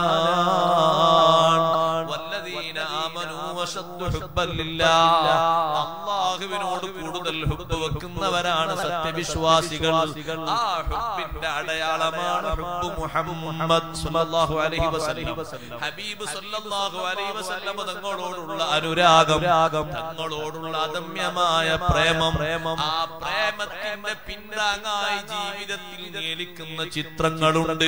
അതേ നമ്മുടെ ചലന നിശ്ചലനങ്ങളിൽ നമ്മൾ മാർഗദർശികളായി കാണുന്ന മഹാരഥന്മാർ അവരുടെ ജീവിതത്തിൽ നിന്ന് ഒപ്പിയെടുക്കുന്ന സ്വഭാവങ്ങൾ പ്രവർത്തനങ്ങൾ ഒരു കാലത്തും ഒരു ഭംഗിയും ചോരാതെ നിൽക്കുന്നത്. കാരണം ആ ഭംഗിയുടെ അടിസ്ഥാനമായി ജനങ്ങൾ പരിചയപ്പെടുന്നത്. ഇതെല്ലാം എത്തിച്ചേരുന്നത് ഹബീബ് റസൂലുള്ളാഹി സ്വല്ലല്ലാഹു അലൈഹി വസല്ലമ തങ്ങളിലേക്കാണ്. അതുകൊണ്ട് തന്നെ തങ്ങളോടുള്ള മഹബത്തിന്റെ ഭാഗമായി തീർന്നിട്ട് എന്തെല്ലാം അടയാളങ്ങൾ വിഷയങ്ങൾ വിശ്വാസികളിലുണ്ടോ? ആ നിലയ്ക്ക് അള്ളാഹുത്തേലവരെ മഹബത്തിനെ പരിഗണിക്കുന്നു. അള്ളാഹുവിനോട് കൂടുതൽ ഇഷ്ടം വെക്കുന്നവർ അവർക്ക് അള്ളാഹുത്തേല സെപ്പറേറ്റ് പേര് നൽകുകയാണ്. എല്ലാവരെയും ഒരേ പേരിലല്ല അള്ളാഹു വിളിക്കുന്നത്. ബഹുമാനപ്പെട്ട റൂഹുല്ലാഹി ഈസാ നബി അലൈഹി അലൈഹിസ്സലാം ഒരു പ്രദേശത്തു കൂടെ നടന്നു പോകുമ്പോ മൂന്ന് വിഭാഗം ജനങ്ങളെ കണ്ടു. കണ്ടു അതിൽ ഒരു വിഭാഗം ശരീരം മെലിഞ്ഞുട്ടിയിട്ടുണ്ട്. നേരത്തെയുള്ള ശരീരത്തിന്റെ പ്രസരിപ്പെല്ലാം തീർന്നു പോയിട്ടുണ്ട്. അവരോട് ഈസാ നബി അലഹിസലാം ചോദിച്ചു ഞാൻ ഈ കാണുന്ന പരുവത്തിലേക്ക് നിങ്ങളെ മാറ്റം വരുത്തിയത് എന്താണ്? നിങ്ങളുടെ ശരീരം കാണാൻ നല്ല തുടിപ്പുണ്ടായിരുന്നല്ലോ. മെലിഞ്ഞൊട്ടിയിരിക്കുന്നു. നല്ല പ്രസരിപ്പുള്ള മുഖഭാവം ഉണ്ടായിരുന്നല്ലോ. നിനക്ക് മാറ്റം വന്നിരിക്കുന്നു. അവർ പറഞ്ഞു ഞങ്ങൾ മാറാനുള്ള കാരണം അൽ നരകത്തെ സംബന്ധിച്ച് ഞങ്ങളെ മനസ്സിൽ തീവ്രമായ പേടി വന്നു. ആ പേടി കാരണം ഞങ്ങളെ ജീവിതത്തിൽ ഞങ്ങളെ സുഖങ്ങളെല്ലാം ഞങ്ങൾ ചുരുക്കി കൊണ്ടുവന്നു. വന്നു ഞങ്ങളെ ശരീരം നിങ്ങൾ കാണും പോലെ ഈ ഒരു പരുവത്തിലേക്ക് മാറി. മാറി. ആ സമയത്ത് ഈസാ നബി പറഞ്ഞു അള്ളാഹുവിന്റെ നരകം പേടിച്ചിട്ടാണ് നിങ്ങൾക്ക് ചേഞ്ച് വന്നതെങ്കിൽ ഹഖുൻ അലല്ലാഹി അയ്യുമിനൽ ഖായിഫ്. പേടിക്കുന്നവന് അഭയം കൊടുക്കുക അള്ളാഹു നൽകുന്ന വലിയൊരു കർത്തവ്യമാണ്. റബ്ബ് താലയുടെ ഹക്കാണ് ആരാണോ പേടിക്കുന്നത് അവർക്ക് അള്ളാഹു താല അഭയം നൽകും. നൽകും രണ്ടാമത്തെ വിഭാഗത്തെ കണ്ടു. ആദ്യം കണ്ടതിനേക്കാൾ അവർ മെലിഞ്ഞൊട്ടിയിട്ടുണ്ട്. ശരീരത്തിന്റെ പ്രസരിപ്പെല്ലാം തകർന്നിട്ടുണ്ട്. അവരോട് ചോദിച്ചു ഞാനൊരു വിഭാഗത്തെ കണ്ടുവരികയാണ്. നിങ്ങൾ അവരെക്കാളും മെലിഞ്ഞുട്ടിയിട്ടുണ്ടല്ലോ നിങ്ങളുടെ ശരീരത്തിന്റെ സൗന്ദര്യങ്ങളെല്ലാം മാറിയിട്ടുണ്ടല്ലോ. എന്തേ ഇങ്ങനെ മാറാനുള്ള കാരണം? അവർ പറഞ്ഞു സ്വർഗത്തിലേക്കുള്ള താല്പര്യമാണ് സ്വർഗമുണ്ടല്ലോ സ്വർഗത്തിലെ സുഖങ്ങളുണ്ടല്ലോ എന്ന് താല്പര്യപ്പെട്ട് ഞങ്ങൾ ഇവിടുത്തെ സുഖങ്ങളൊക്കെ കുറച്ചു. കുറച്ചു. സ്വർഗമുണ്ടല്ലോ എന്ന് കരുതിയിട്ട് കുറെ ചേഞ്ചുകൾ വരണമെന്ന് ആഗ്രഹിച്ച പലതും ഞങ്ങൾ മാറ്റിവെച്ചു അങ്ങനെ മാറ്റിവെച്ചപ്പോൾ ഞങ്ങളുടെ ശരീരത്തിലുണ്ടായിരുന്ന ഈ ഭംഗിയെല്ലാം കുറഞ്ഞു. കുറഞ്ഞു. പക്ഷേ കുറഞ്ഞതിൽ ഞങ്ങൾക്ക് പരാതിയൊന്നുമില്ല. ഇപ്പോൾ ഞങ്ങളുടെ താല്പര്യം സ്വർഗം ലഭിക്കണമെന്നുള്ള ആശയ ആശയാണ്. ഈസാ നബി അലൈഹിസ്സലാം പറഞ്ഞു നിങ്ങളെ താല്പര്യം അള്ളാഹു നിങ്ങൾക്ക് നിറവേറ്റി തരുക തന്നെ ചെയ്യും. കാരണം നിങ്ങളെ പ്രതീക്ഷ നല്ല പ്രതീക്ഷയാണ്. മൂന്നാമത്തെ ഒരു വിഭാഗത്തെ കണ്ടു. അവരാണ് ആ വിഭാഗത്തിൽ ഏറ്റവും കൂടുതൽ ചേഞ്ച് വന്നവർ. കഅന്ന വുജൂഹും അൽ മറായ മിനൻ നൂർ. അവരുടെ മുഖങ്ങൾ നോക്കുമ്പോൾ ഈസാ നബി അലൈഹിസ്സലാം പറയുന്നു പ്രകാശം കൊണ്ട് കത്തിജ്വലിക്കുകയാണ് ഞാൻ അതുപോലെ പ്രകാശമുള്ള മുഖങ്ങളെ കണ്ടിട്ടില്ല. വീണ്ടും വീണ്ടും ഞാൻ അവരെ നോക്കി. അവരോട് ചോദിച്ചു കൈഫ ബല്ലഗതും ഇലാ ഹാദിഹി ദറജ. ഈ ഉന്നതമായ സ്ഥാനത്തേക്ക് നിങ്ങളെ വഴി നടത്തിയത് എന്താണ്? അവർ പറഞ്ഞു ഞങ്ങൾ അള്ളാഹുവിനോടുള്ള ഹുബ് കൊണ്ട് മാറിയതാണ് അങ്ങനെ ഒരു മാറ്റമുണ്ടോ? അങ്ങനെ ഒരു മാറ്റമുണ്ട്. രണ്ട് വർഷവും ചില്ലറ മാസം മാത്രം ഭരിച്ച മഹാനല്ലേ ഉമർ ബിൻ അബ്ദുൽ അസീസ് റളിയല്ലാഹു അൻഹു. അൽ ഖത്താബ് തങ്ങളുടെ പേരക്കുട്ടി ഭരണം ഏറ്റെടുത്ത ശേഷം മഹാനവറുകളുടെ ശരീരം ചേഞ്ച് വന്നു. നേരത്തെ ഉണ്ടായിരുന്ന സൗന്ദര്യമായ അവസ്ഥക്ക് മാറ്റം വന്നു. പിന്നീട് വഫാത്തിന്റെ തൊട്ടു മുമ്പ് നോക്കുമ്പോൾ വസ്ത്രം ശരീരത്തിലുണ്ടെങ്കിൽ അളവ് കൃത്യമായി അറിയാൻ പറ്റുന്ന പാകതയിൽ മഹാനവർകൾ മെലിഞ്ഞുട്ടിപ്പോയി. അങ്ങനെ മെലിയാനുള്ള കാരണം എന്തെന്ന് ചോദിച്ചപ്പോ ആഹൃതത്തിലേക്ക് രക്ഷപ്പെടാൻ ഒരുപാട് കടമ്പകളുണ്ട് എന്നൊരു ഹദീസ് ഞാൻ കണ്ടു. ആ ഹദീസ് കണ്ട ശേഷം പിന്നീട് എനിക്ക് സാധാരണ ചെയ്യുന്ന പ്രവർത്തനങ്ങൾക്ക് പലതിനും ധൈര്യം വന്നില്ല. എന്റെ ശരീരത്തിലുള്ള സുഖശുശുദ്ധികൾ പലതും ഞാൻ മറന്നുപോയി. അങ്ങനെ മറന്നപ്പോൾ എന്റെ ശരീരം പോലെ മെലിഞ്ഞൊരു ശരീരം ഇവിടെ വേറെ ഞാൻ കാണുന്നില്ല. അള്ളാഹുവിനോടുള്ള ഹുബ് കൊണ്ടാണ് ഞങ്ങൾ മെലിഞ്ഞൊട്ടിയത് എന്ന് പറഞ്ഞപ്പോൾ ഈസാ നബി അലൈഹിസ്സലാം അവരോട് പറഞ്ഞു അന്തുമുൽ മുഖറബൂന ഇലല്ലാഹി യൗമൽ ഖിയാമ. എന്നാൽ എന്റെ പ്രിയപ്പെട്ട സഹോദരി സഹോദരങ്ങളെ അള്ളാഹുവിനോട് നമുക്ക് കൂടുതൽ ഹുബുണ്ടോ ഉണ്ടെങ്കിൽ വളരെയധികം സന്തോഷത്തോടുകൂടെ ഞാൻ ചോദിക്കട്ടെ റബ്ബിന്റെ വിളിയാളത്തിന് ഉത്തരം ചെയ്യുന്നവരാകണം നാം. നമുക്ക് ഏറ്റവും കൂടുതൽ സന്തോഷം വേണ്ടത് അള്ളാഹു നമ്മിൽ നിന്ന് ഏറ്റവും കൂടുതൽ സന്തോഷത്തോട് ആഗ്രഹിക്കുന്ന കാര്യത്തിനാണ്. ദുനിയാവ് മുഴുവനും കൈക്കൽ കൊടുത്ത നേതാവല്ലേ ഹബീബ് റസൂലുള്ളാഹി അലൈഹി വസല്ലം. ദുനിയാവിലെ ഖജനാവുകൾ മുഴുവനും അള്ളാഹു എന്റെ കയ്യിൽ തന്നിട്ടുണ്ട്. വേണ്ടത് സ്വീകരിക്കാൻ ഇഷ്ടം പോലെ സൗകര്യങ്ങൾ തന്നിട്ടുണ്ട്. പക്ഷേ എന്നാലും എന്റെ മനസ്സിലേറ്റവും വലിയ സന്തോഷം ഫിസ്സലാ. എന്റെ കണ്ണിന് ഒരു കർണാനന്ദകരമായ അവസ്ഥ ലഭിക്കുന്നത്. എന്റെ കരളിന് ഏറ്റവും കൂടുതൽ കുളിര് ലഭിക്കുന്നത് നിസ്കാരത്തിലാണ്. എന്തേ കാരണം? റബ്ബുമായുള്ള സംഭാഷണത്തിലാണ്. അള്ളഹാനോട് വലിയ ഹുബുണ്ടെങ്കിൽ ആ ഹുബിന്റെ തേരിലേറിയിട്ട് ഒറ്റക്കാരം സൂചിപ്പിക്കട്ടെ. റബ്ബിനോട് കൂടുതൽ ഹുബുള്ളവരാണോ? ഇനി ഒരിക്കലും ഒരു നിമിഷവും ആ ഹുബ് നിന്റെ മനസ്സിൽ താലോലിച്ചുകൊണ്ട് നടക്കുന്നതോടൊപ്പം ഒരിക്കൽ പോലും നിസ്കാരം നിനക്ക് കലാകാൻ പാടില്ല.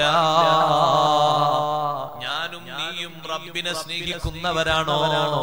സുബിഹിക്ക് എത്ര സുഖത്തിൽ കിടക്കുകയാണെങ്കിലും നമ്മളെ എഴുന്നേൽപ്പിക്കേണ്ടത് ഭൗതിക സുഖങ്ങളോ ഭൗതികയുടെ പ്രമത്തതകളോ അല്ല.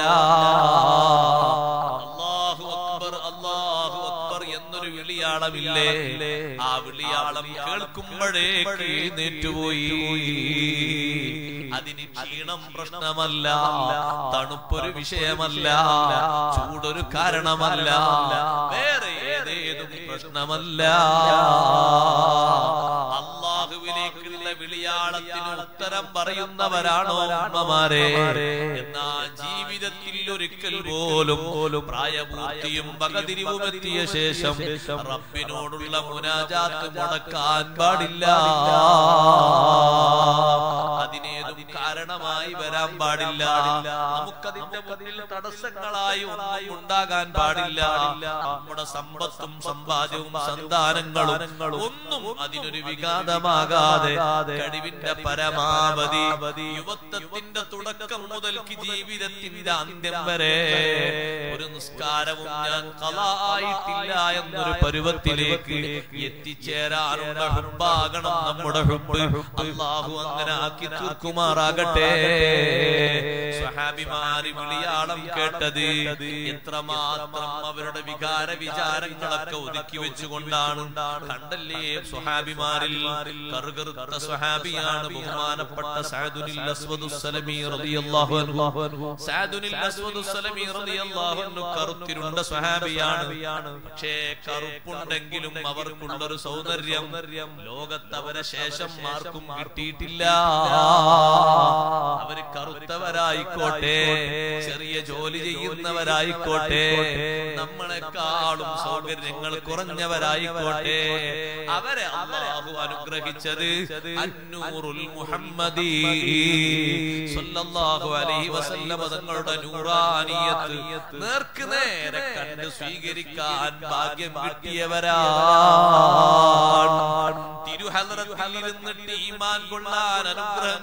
കിട്ടിയവരെക്കാൾ ഏറ്റവും വലിയ അനുഗ്രഹം കിട്ടിയവർ. ലോകത്തൊരു നബിയുടെ അനുയായികളും ഇല്ലല്ലോ അമ്പിയാക്കൾ കഴിഞ്ഞാൽ പിന്നെ ഒന്നാമതായി പാലം കടക്കുന്നവർ സ്വഹാബിമാരാണ്. ആദം നബി അലൈഹിസ്സലാമിന്റെ അനുയായികളല്ല. നബി അലൈഹിസ്സലാമിന്റെ അനുയായികളല്ല. ഈസാ നബി അലൈഹിസ്സലാമിന്റെ ഹവാരികളല്ല. അമ്പിയാക്കൾ പാലം കടന്നു കഴിഞ്ഞാൽ പിന്നെ പ്രഥമമായും പ്രധാനമായും പരിഗണിക്കുന്നത്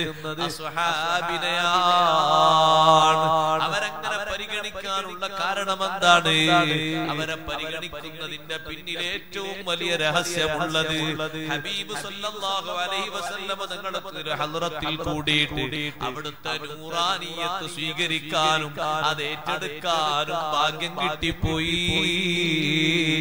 അതിനേക്കാളും വലിയ ഭാഗ്യം ലോകത്ത് മറ്റൊന്നില്ല. ഇതുകൊണ്ടാണ് സഹാബിയാകാൻ കഴിയാത്തതിന്റെ പേരിൽ കരഞ്ഞ് കരഞ്ഞ് ജീവിതകാലം കഴിച്ചുകൂട്ടിയ മഹാന്മാരുണ്ട്. എന്നും മുഖത്തു നോക്കുമ്പോ ചിരിയുടെ മുഖം തീരെ വരാത്ത ഇമാം അബുൽ അൻഹു തീരെ ചിരിക്കാറില്ല. എന്നും മുഖത്തു നോക്കുമ്പോൾ ദുഃഖിതനെ പോലെയാണ് ചോദിക്കുമ്പോ മറുപടി പറയുന്നത് ഒന്നുമല്ല സഹാബിമാരൊക്കെ കണ്ട നബിയെ ഹയാത്ത് കാലത്ത് എനിക്ക് കാണാനൊത്തില്ലല്ലോ. സഹാബിമാരെ ഹദ്രത്തിലെത്തുമ്പോഴോ എത്ര നേരം ഇരിക്കാനും മഹാനവർകൾ റെഡിയാണ്. എന്തേ ഇത്ര നേരം ഇരിക്കുന്നത് ഒന്നുമല്ല. നബിതങ്ങളെ കണ്ടവരല്ലേ ഇരിക്കുന്നത്? അവിടുത്തെ നൂറ് പകർന്നെടുത്തവരല്ലേ ഇരിക്കുന്നത്? അവിടുത്തെയോടൊപ്പം ഒരുമിച്ച് കൂടിയിട്ട് അള്ളാഹു നൽകിയ വലിയ അനുഗ്രഹമായ കടാ വെളിച്ചം ജീവിതത്തിലേക്ക് പകർന്നെടുത്തവരല്ലേ ഇരിക്കുന്നത്? അവരെ അവരെ എത്ര ഇരുന്നാലും എനിക്കതുകൊണ്ട് സന്തോഷമാണ് കയ്യിൽ ആപ്പിൾ കിട്ടിയപ്പോൾ ആപ്പിൾ മാറി മാറി ചുംബിച്ചിട്ട് പറഞ്ഞില്ലേ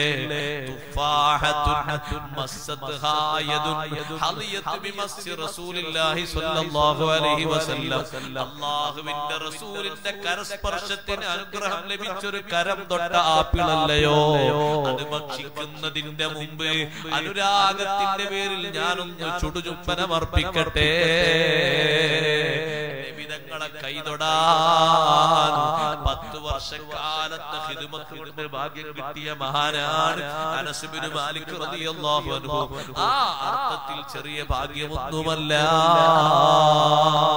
അപ്പോൾ സഹോദരന്മാരെ സ്വഹാബിമാരെ കൂട്ടത്തിൽ കറുത്തവരുണ്ടെന്ന് പറഞ്ഞാൽ ആ കറുപ്പിനൊരു കുറവുമില്ല. സഅദുൽ അസ്വദ് സുലമി റളിയല്ലാഹു അൻഹു പറഞ്ഞു അല്ലാഹുവിന്റെ ഹബീബേ അയംനഉ സവാദി വദിമാമതി മിൻ ദുഖൂലിൽ ജന്ന. ഞാൻ കറുത്തവനായതുകൊണ്ട് സ്വർഗത്തിൽ കടക്കാതിരിക്കുമോ? എന്റെ രൂപവൈകൃതം കാരണം എനിക്ക് സ്വർഗപ്രവേശനം തടസ്സമാകുമോ? കാണാനൊരു ചേലും കോലും ഒന്നും എന്റെ ജീവിതത്തിൽ ഇല്ലല്ലോ തങ്ങൾ പറഞ്ഞു രൂപഭാവം ഇങ്ങനെ ആയതുകൊണ്ട് സ്വർഗത്തിൽ കടക്കാതിരിക്കൊന്നുമില്ല.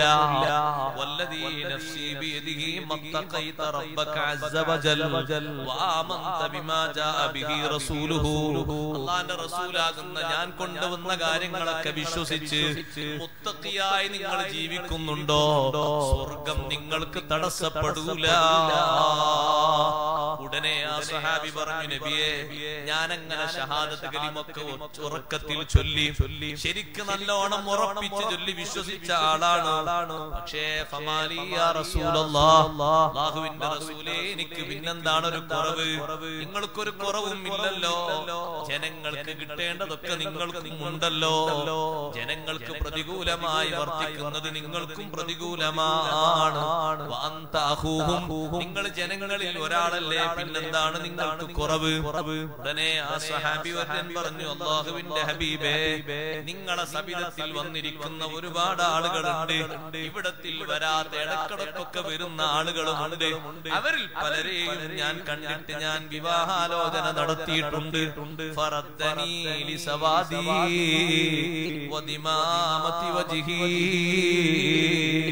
പലരും. പലരും മടക്കി വിട്ടു. ഞാനൊരു കറുത്ത കളറുള്ള ആളാണല്ലോ.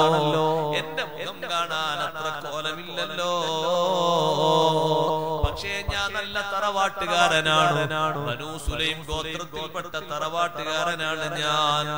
ഉടനെ ഹബീബ് സല്ലല്ലാഹു അലൈഹി വസല്ലം തങ്ങൾ ഒരു സ്വഹാബിയുടെ വിഷമം കേട്ടാൽ അതിന് പരിഹാരം നിർവചിച്ചിട്ടല്ലാതെ ആ പരിഹാരത്തിന്റെ മാർഗങ്ങൾ പറഞ്ഞു കൊടുത്തിട്ടല്ലാതെ അടുത്തൊരു വിഷയത്തിലേക്ക് ഒരിക്കലും തങ്ങൾ കാലെടുത്ത് വെക്കാറില്ല. തങ്ങളെ ജീവിതത്തിൽ എപ്പോഴും നിയമിക്കുന്ന ഒരു സ്വഭാവമാണ്. ആരെന്ത് പ്രശ്നങ്ങൾ വന്ന് പറഞ്ഞാലും അത് സാധാരണ ആളുകൾ പരിഗണിക്കാത്ത കറുത്തിരുണ്ട അടിമയാണെങ്കിലും ശരി. അതൊരു പ്രശ്നമാണല്ലോ. അതിന് പരിഹാരം കൊടുത്തിട്ടല്ലാതെ ഇനി മുന്നോട്ടില്ല. അത് തിരുദൂതർ സല്ലല്ലാഹു അലൈഹി വസല്ലം തങ്ങളുടെ റഹ്മത്ത് അങ്ങനെയാണ് അതേ ഈ സ്വഹാബിയോടും പറഞ്ഞു നിങ്ങൾക്ക് ഞാൻ ഒരാളെ പറഞ്ഞു തരാം. നിങ്ങൾ അയാളെ വീട്ടിലേക്ക് പോകണം.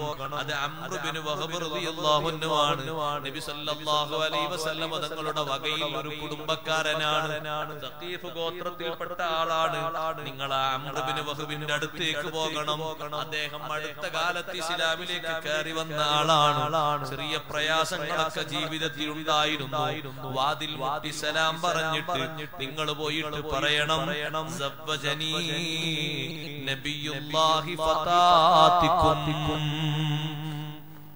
അള്ളാഹുവിന്റെ ഹബീബ് എനിക്ക് മംഗല്യം ചാർത്തി തന്നിട്ടുണ്ട്.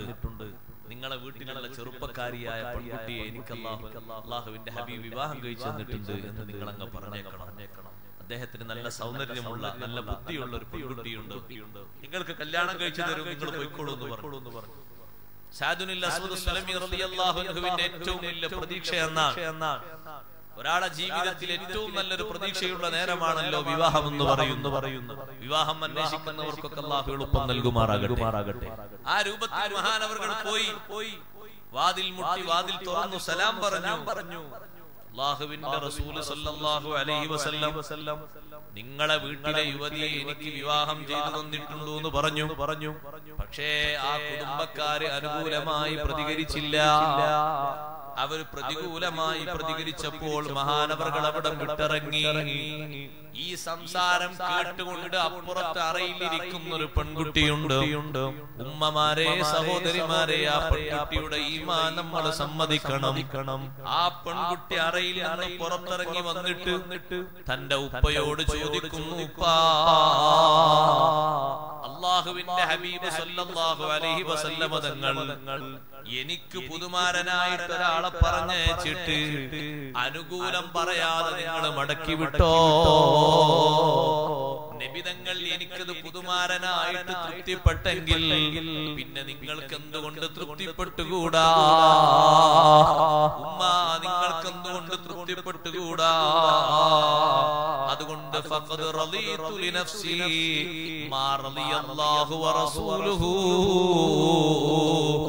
എന്റെ ശരീരത്തിൽ ഞാൻ തൃപ്തിപ്പെട്ടു.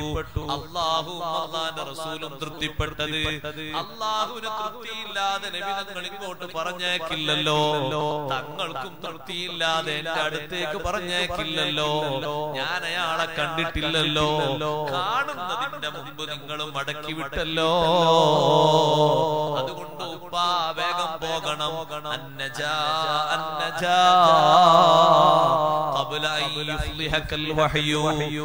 ഇറങ്ങിയിട്ട് നിങ്ങൾ വഷളാകാൻ നിൽക്കണ്ട.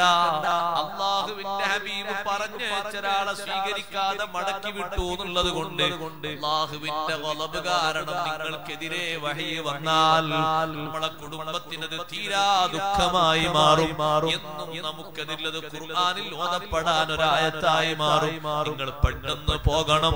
അത് സമ്മതമാക്കി സ്വീകരിക്കണം. ആ പെൺകുട്ടിയുടെ ഈമാൻ ഈമാനും ആ പെൺകുട്ടിയുടെ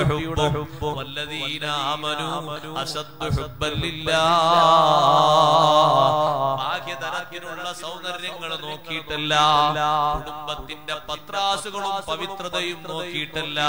നല്ല സ്റ്റാറ്റസ് ഉള്ള കുടുംബത്തിലുള്ള ആളാണ് സാധു സലമി റളിയല്ലാഹു അൻഹു. അതിനപ്പുറം ആ പെൺകുട്ടി മനസ്സിരുത്തിയത് അള്ളാഹും അള്ളാന്റെ റസൂലും തൃപ്തിപ്പെട്ടതാണല്ലോ. അത് തൃപ്തിപ്പെടേണ്ട ആളല്ലേ? ഞാൻ അപ്പോഴല്ലേ എന്റെ ഈമാൻ ശരിയാകൂ? അപ്പോഴല്ലേ എന്റെ മഹബത്ത് ശരിയാകൂ? പിന്നെ ഞാൻ എന്തിനെ എതിർക്കണം? എന്റെ ഉപ്പയും എന്റെ ഉമ്മയും എന്തിനെ എതിർക്കണം? ഉപ്പാനെ പറഞ്ഞേക്കുമ്പോ അമ്രുബിന് വഹബ് റളിയല്ലാഹു അൻഹു ഉടനെ പുറപ്പെട്ടു. നബി സല്ലല്ലാഹു അലൈഹി വസല്ലമ തങ്ങളെ ഹദ്റത്തിലെത്തുമ്പോ അപ്പോഴേക്ക് സഅദ് സലമി റളിയല്ലാഹു അൻഹു പരാതി പറഞ്ഞിട്ടുണ്ട്. അവരെന്നെ മടക്കി വിട്ടു സമ്മതിച്ചില്ല എന്ന് പറഞ്ഞു.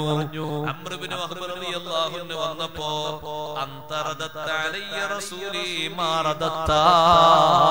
എന്റെ ദൂതനെ നിങ്ങൾ മടക്കി വിട്ടോ അമ്രേ? ഞാനല്ലേ പറഞ്ഞയച്ചത് പിന്നെന്തിനാ നിങ്ങൾ മടക്കി വിട്ടത് നബിയെ ഞാൻ അങ്ങനെ ചെയ്തിട്ടുണ്ട്. ഞാൻ അള്ളാഹുവിനോട് പശ്ചാത്തപിക്കുന്നു. ഞങ്ങൾ അത്ര വിചാരിച്ചിട്ടില്ല. ഞങ്ങൾക്ക് കാര്യം സമ്മതമാണ്. എന്റെ മകളെ മംഗല്യം ചാർത്തി കൊടുക്കാം ചെറിയ ഒരു സദസ്സിൽ വെച്ച് സ്വഹാബത്തിനെ വിളിച്ചു കൂട്ടിയിട്ട് തങ്ങൾ നിക്കാഹിന് കാർമ്മികത്വം വഹിച്ച് സുന്ദരമായ രീതിയിൽ നിക്കാഹ് നടക്കുന്നു. ജീവിതത്തിലെ ഏറ്റവും വലിയ അഭിലാഷമാണ്. കുറക്കാലം മഹാനവറുകൾക്ക് അന്വേഷണത്തിന് ഇപ്പോൾ ഒരു സന്തോഷം കിട്ടിയതാണ്. സ്വഹാബിമാര് പലരും കൂടിയിട്ട് പണം സ്വരൂപിച്ചു. ഈ പാവപ്പെട്ട സ്വഹാബിക്ക് എന്തെങ്കിലുമൊക്കെ വാങ്ങിക്കൊടുക്കാൻ അദ്ദേഹത്തിന്റെ ഭാര്യയായി മാറിയ പെൺകുട്ടിക്ക് ഉടയാടകളും ആഭരണങ്ങളും ആദ്യമായി വാങ്ങിക്കൊടുക്കുന്ന വസ്തുവകകളും ഒക്കെ വാങ്ങിക്കൊടുക്കാൻ ഒരു അവരെല്ലാവരും പണം പിരിച്ചു കൈക്കൽ കൊടുത്തു. നബി സല്ലല്ലാഹു അലൈഹി വസല്ലം പറഞ്ഞു ഇലാ ബിഹാ. ഇപ്പോൾ വിവാഹം നടന്നല്ലോ. നിങ്ങൾ നിങ്ങളുടെ സഹധർമ്മിണിയുടെ അടുത്തേക്ക് പോയി. സുഖത്തോടെ കഴിഞ്ഞോളൂ.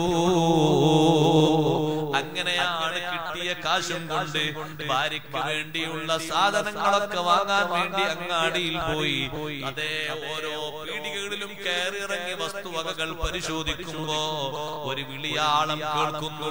ഇവിടെയാണ് അള്ളാഹുവിനോടുള്ള ഹുബ് ഹബീബ്. സല്ലല്ലാഹു അലൈഹി വസല്ലം തങ്ങളോടുള്ള ഹുബ് സ്വന്തം ശരീരത്തിന്റെ വികാര വിചാരങ്ങൾ അതിന് തടസ്സമാകരുത്. ആ വിചാര വികാരങ്ങളാണോ തടസ്സമാകുന്നത്?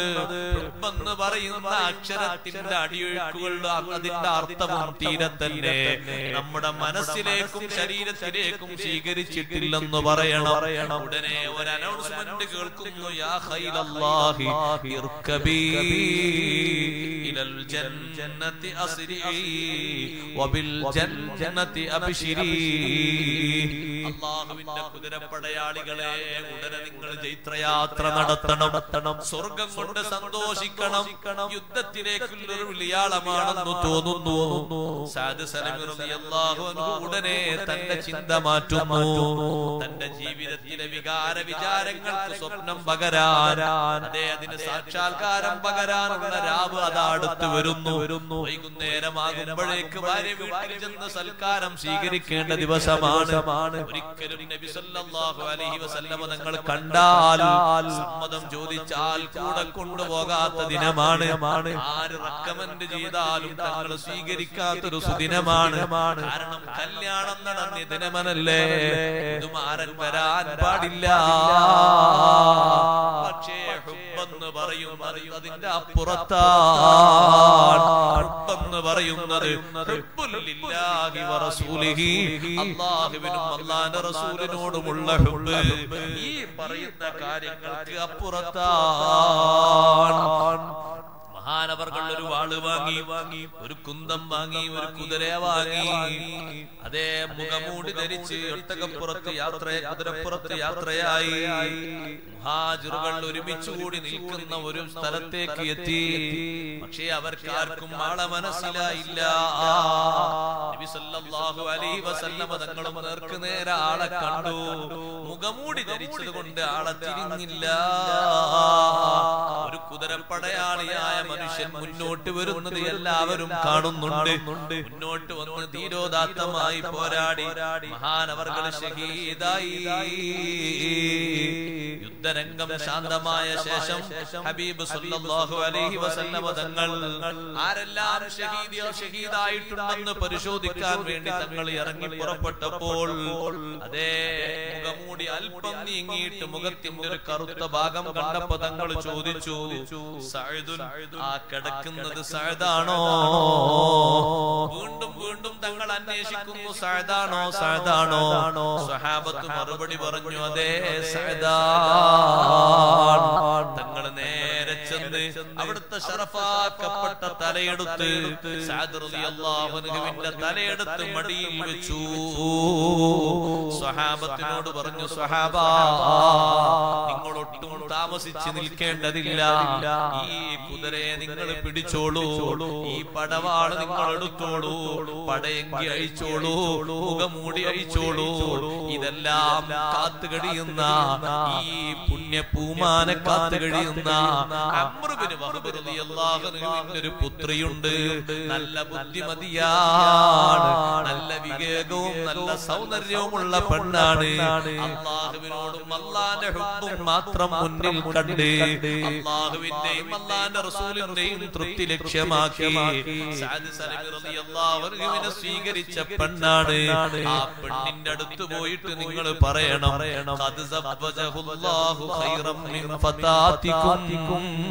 ഇന്ന് നിങ്ങളെ വീട്ടിലേക്ക് വന്നിടേണ്ട പുതുമാരനുണ്ടല്ലോ.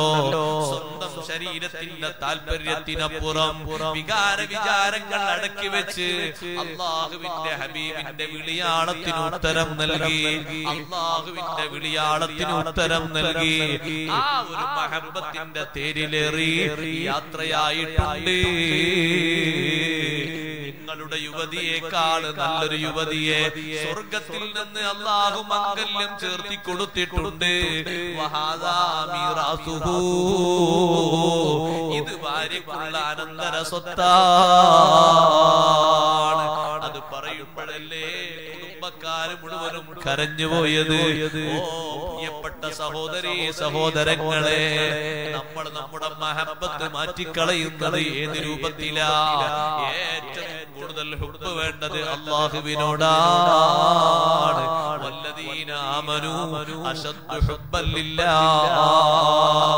സത്യവിശ്വാസികൾ ഏറ്റവും അധികം ഹുബ് വെക്കുന്നത് അള്ളാഹുവിനോടാണ്. അതുകൊണ്ടല്ലേ മുന്നിൽ ആ ഒരു പ്രേമത്തിന്റെ ആ ഒരു സ്നേഹത്തിന്റെ മുന്നിൽ ഭൗതികപരമായ ലൗകികരമായ കാര്യങ്ങൾ നമുക്ക് തടസ്സമാകരുത്. പലപ്പോഴും തടസ്സമായി നിൽക്കാറുണ്ട്. മുട്ടികളായി മുന്നിൽ വരാറുണ്ട്. ആ കാര്യങ്ങളൊക്കെ വകഞ്ഞു മാറ്റിയിട്ട് അള്ളാഹുവിനോടുള്ള ഹുബിന് സ്ഥാനം കൽപ്പിക്കണം. അള്ളാഹു നമുക്കതിന് തൗഫീഖ് നൽകുമാറാകട്ടെ. അഷ്റഫുൽ സല്ലല്ലാഹു അലൈഹി വസല്ലം പഠിപ്പിച്ച ഏറ്റവും വലിയ ഹുബ് ഇതാണ്. മിനിങ്ങൾക്കുള്ള ഏറ്റവും വലിയ ഹുബ് അതാണ് അള്ളാഹുവിനോടുള്ള ഹുബ്. ആ ഹുബിന്റെ മാർഗത്തിൽ വളരെ കടുപ്പമേറിയ പ്രയാസങ്ങൾ അവർക്ക് വന്ന് അവരെ മുറുക്കിയാലും പരാതി പറയില്ല അള്ളാഹുവിലേക്ക് അവർ സന്തോഷം പറയും. അള്ളാഹുവിലേക്ക് അവർ സന്തോഷം പറയും. പറയും അള്ളാഹുവിന്റെ അവർ തൃപ്തിപ്പെട്ട് ജീവിക്കും ജീവിക്കും. എല്ലാവരും കാണുന്ന രൂപത്തിൽ സന്തോഷത്തോടെ ചിരിച്ചത് എന്റെ മകൻ. മകൻ. മകൻ മരിച്ച അന്ന് ഒരാൾ കരയാന്നുള്ളത് വിഷമമുള്ള കാര്യമൊന്നുമല്ല. പാടില്ലാത്ത കാര്യമൊന്നുമല്ല. ദുഃഖം കൊണ്ട് വിഷമം കൊണ്ട് കരയും. കരയും. പക്ഷേ ഫുലൈൽ ബിനിയാഹുന് ചിരിക്കുമ്പോ ജനങ്ങൾ ചോദിച്ചു അല്ല നിങ്ങൾ ഇന്നെന്താ ചിരിക്കുന്നത്? നിങ്ങളെ മോൻ മരണപ്പെട്ട ദിവസം തന്നെ ചിരിക്കുന്നത് എന്താ? ഇന്നത്തെ ഈ ചിരി ഞാൻ അള്ളാഹുലേക്ക് നൽകുന്ന വലിയ ഇഷ്ടമാണ്. അള്ളാഹു അവന്റെ ഒരു തീരുമാനം നടപ്പിലാക്കിയതിൽ എനിക്ക് മാനസികമായിട്ട് ഒരു പൊരുത്തക്കേടുമില്ല എനിക്കതിൽ സന്തോഷമേ ഉള്ളൂ. അള്ളാഹുവിന്റെ തീരുമാനമല്ലേ? എനിക്കതിൽ ഇഷ്ടമേ ഉള്ളൂ. എനിക്കൊരു പരാതിയുമില്ല. അതുകൊണ്ടാണല്ലോ വിശ്വാസികൾ അങ്ങനെ വല്ല വിഷയവും വരുമ്പോ ആത്മകഥം ചെയ്തവർ പറയുന്നത് ഇന്നാലില്ലാഹി വ ഇന്നാ ഇലൈഹി റാജിഊൻ. വല്ല വിഷയങ്ങളും വരുമ്പോ വരുമ്പോ അതിൽ തെറ്റിപ്പോകാതെ അല്ലെങ്കിൽ അബദ്ധങ്ങൾ ചെയ്തു പോകാതെ പറഞ്ഞു പോകാതെ ഇങ്ങനെ പറയാനുള്ള കാരണം കാരണം അവർ അള്ളാഹുവിലേക്ക് ആ വിഷയം ഏൽപ്പിക്കുന്നു മനസ്സുകൊണ്ട് അങ്ങനെ വിശ്വസിക്കുന്നു നാവ് കൊണ്ട് അത് വെളിവാക്കി പറയും പറയുന്നു. പറഞ്ഞു അള്ളാഹുവിന് ഇഷ്ടമുണ്ടായിട്ടല്ലേ? പ്രായപൂർത്തിയെത്താത്ത ചെറിയ ഈ കുട്ടിയെ അള്ളാഹു തല പിടിച്ചു കൊണ്ടുപോയത്? ഞാൻ അതിലൊരു പരിഭവം പറയുന്നില്ല. അള്ളാഹുവിന്റെ തീരുമാനത്തിൽ ഞാൻ സന്തോഷിക്കുന്നു. കാരണം ഞാൻ ഈ കുട്ടിയുടെ ആളല്ല. അള്ളാഹു നൽകിയതല്ലേ. അള്ളാഹു താല തന്നെ തിരിച്ചെടുത്തല്ലോ. എന്നതുകൊണ്ട് എനിക്കതിൽ വിഷമങ്ങളൊന്നുമില്ല സന്തോഷേ ഉള്ളൂ. ഉള്ളൂ. ഈ രൂപത്തിൽ സന്തോഷിക്കാറുള്ള ഒരു കഴിവ് കഴിവ് അവർക്ക് കിട്ടിയത് അവരെ കൂടുതൽ സ്വാധീനിച്ചത് ഈമാനുള്ളവർക്ക് ഏറ്റവും വലിയ ഹുബ് അള്ളാഹുവിനോടാണ് പരീക്ഷണ ഘട്ടങ്ങൾ ഒന്നൊന്നായി വരുമ്പോ വരുമ്പോ ഒരു ഭാഗത്ത് രോഗം വന്ന് അതിൽ സന്തോഷത്തോടെ പറഞ്ഞ അള്ളാഹു തന്നതല്ലേ എന്ന നിലയ്ക്ക് എനിക്ക് സന്തോഷമുള്ളൂ എന്ന് പറഞ്ഞ പറഞ്ഞ തീവ്രമായ താല്പര്യം പ്രകടിപ്പിച്ച ആളുകളെ കാണുമ്പോൾ നമ്മൾ വിചാരിക്കും ഇവരെന്താ പഠിച്ചോനെ ഇങ്ങനെ? ഒന്നുമല്ല അള്ളാഹുത്താല നൽകിയത് എന്നുള്ള നിലയ്ക്ക് അവരെ മനസ്സിൽ അതുകൊണ്ട് ഒരു മുറിവും വന്നിട്ടില്ല. അള്ളാഹു നമുക്ക് മഹബത്ത് ഏറ്റി തരട്ടെ. തരട്ടെ. അള്ളാഹുവിനോടുള്ള ഈമാൻ അള്ളാഹു നമുക്ക് കൂട്ടി ഊട്ടി ഉറപ്പിച്ചു തരട്ടെ. തരട്ടെ. അത്രയും ഈമാനുള്ള മഹാന്മാർ. അവർ ആ രോഗം ഇനി ആർക്കും കൊടുക്കല്ലേ എന്ന് പറയുമ്പോ അവർ പറയും "നിങ്ങൾ അങ്ങനെ ദ്വാരക്കണ്ട. എന്റെ ദ്വായിൽ എന്റെ രോഗത്തിൽ എന്താണോ അല്ല എനിക്ക് ഹൈർ കണക്കാക്കിയത് അത് നിങ്ങൾ ചോദിച്ചാൽ ചോദിച്ചാൽ മതി. ഷിഫയാണ് അള്ളാഹു കണക്കാക്കിയതെങ്കിൽ ഞാനത് ഹൈറായി സ്വീകരിക്കും. അതല്ല അതല്ല. ഇങ്ങനെ കുറച്ചു കാലം കടന്നിട്ട് അള്ളാഹു തിരിച്ചു വിളിക്കാനാണെങ്കിൽ ഞാൻ അങ്ങനെ സ്വീകരിക്കും. സ്വീകരിക്കും. ഇമ്രാനുബിന് അള്ളാഹുവിന്റെ രോഗം കണ്ടപ്പോ ഒരു കൂട്ടുകാരൻ വല്ലാതെ വിഷമിച്ചു പോയി മഹാനവർകൾ വീടിന്റെ പുറത്ത് വീട്ടിൽ താമസിക്കാൻ കഴിയാതെ വീടിന്റെ പുറത്ത് പുറത്ത് പ്രത്യേകം പാത്തി കൊണ്ട് ഒരു ടെന്റ് ഉണ്ടാക്കി അതിൽ കിടക്കുമ്പോൾ ഈ പാത്തിക്കടിയിലൂടെ പലക പലക കടിയിലൂടെ രക്തവും ചെലവൊക്കെ ഒക്കെ തായോട്ട് അങ്ങനെ ഒഴുകിക്കൊണ്ടിരിക്കുന്നു. ശരീരം അനുദിനം മെലിയുകയാണ്. ഇത് കണ്ടപ്പോൾ വന്ന കണ്ട് കണ്ട് സന്ദർശിക്കാൻ വന്ന കൂട്ടുകാരൻ വല്ലാതെ വിഷമം പറഞ്ഞപ്പോ മഹാനവറുകൾ പറഞ്ഞു ഒരു വിഷമവും നിങ്ങൾ പറയണ്ട. പറയണ്ട. നിങ്ങൾ ആരും അനുഭവിക്കാത്ത ഒരു സുഖം എനിക്ക് കിട്ടിക്കൊണ്ടിരിക്കുന്നുണ്ട്. അതുകൊണ്ട് എനിക്ക് ഒരു വിഷമായി തോന്നിയിട്ടില്ല ഇതുവരെ. ഇതുവരെ. എന്താ സുഖം ചോദിച്ചപ്പോ മഹാനവറുകൾ പറഞ്ഞു ഒന്നുമല്ല. ഒന്നുമല്ല. രാവിലെയും വൈകുന്നേരവുമായിട്ട് ആയിരം മലക്കുകൾ എന്റെ സന്ദർശകരാണ്. ആയിരം മലക്കുകൾ എന്നെ വന്ന് മുസാഫഹത്ത് ചെയ്യുകയാണ്. എന്റെ നെറ്റിത്തടത്തിൽ അവർ ചുംബനമർപ്പിക്കുകയാണ് ആ നേരത്ത് എനിക്ക് കിട്ടുന്ന ഒരു സന്തോഷം പോലെ നിങ്ങൾക്ക് കിട്ടുകയില്ല എന്ന് ഞാൻ കണക്കാക്കുന്നു. അതുകൊണ്ട് ഇങ്ങനത്തെ രോഗം കൊടുക്കല്ലേ എന്ന് നിങ്ങൾ എന്റെ രോഗം കണ്ട് വിഷമിച്ച് അള്ളാഹുവിന്റെ കലായിൽ നിങ്ങൾ തൃപ്തിപ്പെടാതിരിക്കരുത്. എന്റെ രോഗത്തിൽ എന്താണോ ഹൈറ് അത് നിങ്ങൾ അള്ളാഹുവിനോട് ചോദിക്കും. അള്ളാഹു എനിക്ക് ആ ഹൈർ എങ്ങനെയാണോ കണക്കാക്കിയത് ഞാൻ അങ്ങനെ സ്വീകരിക്കും. സ്വീകരിക്കും. ഇങ്ങനെ പറയുന്ന മഹാന്മാരുടെ ഈമാൻ നോക്കുമ്പോ ഒന്ന് വേറെയാണ്. വേറെയാണ്. സഹോദരന്മാരെ അള്ളാഹു നമുക്ക് അള്ളാഹുവിനോട് കൂടുതൽ ഹുബ് ഏറ്റിത്തരട്ടെ.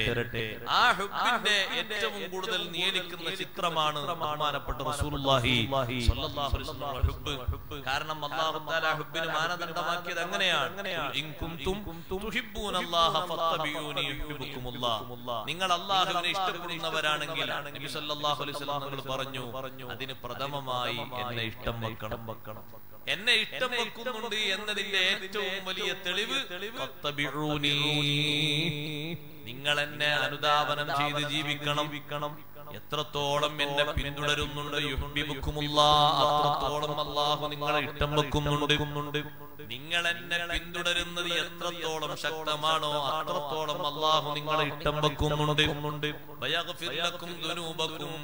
നിങ്ങൾ എന്നെ ഇഷ്ടം വെക്കുകയും എന്നെ പിന്തുടരുകയും ചെയ്താൽ അള്ളാഹു നിങ്ങളെ ഇഷ്ടം വെക്കുന്നത് കാരണമായി. നിങ്ങളിൽ നിന്ന് സംഭവിച്ച മുഴുവൻ വൈകല്യങ്ങളും അല്ലാഹു മാപ്പ് ചെയ്തു തരും. എല്ലാം അല്ലാഹു പുറത്തു തരും തരും.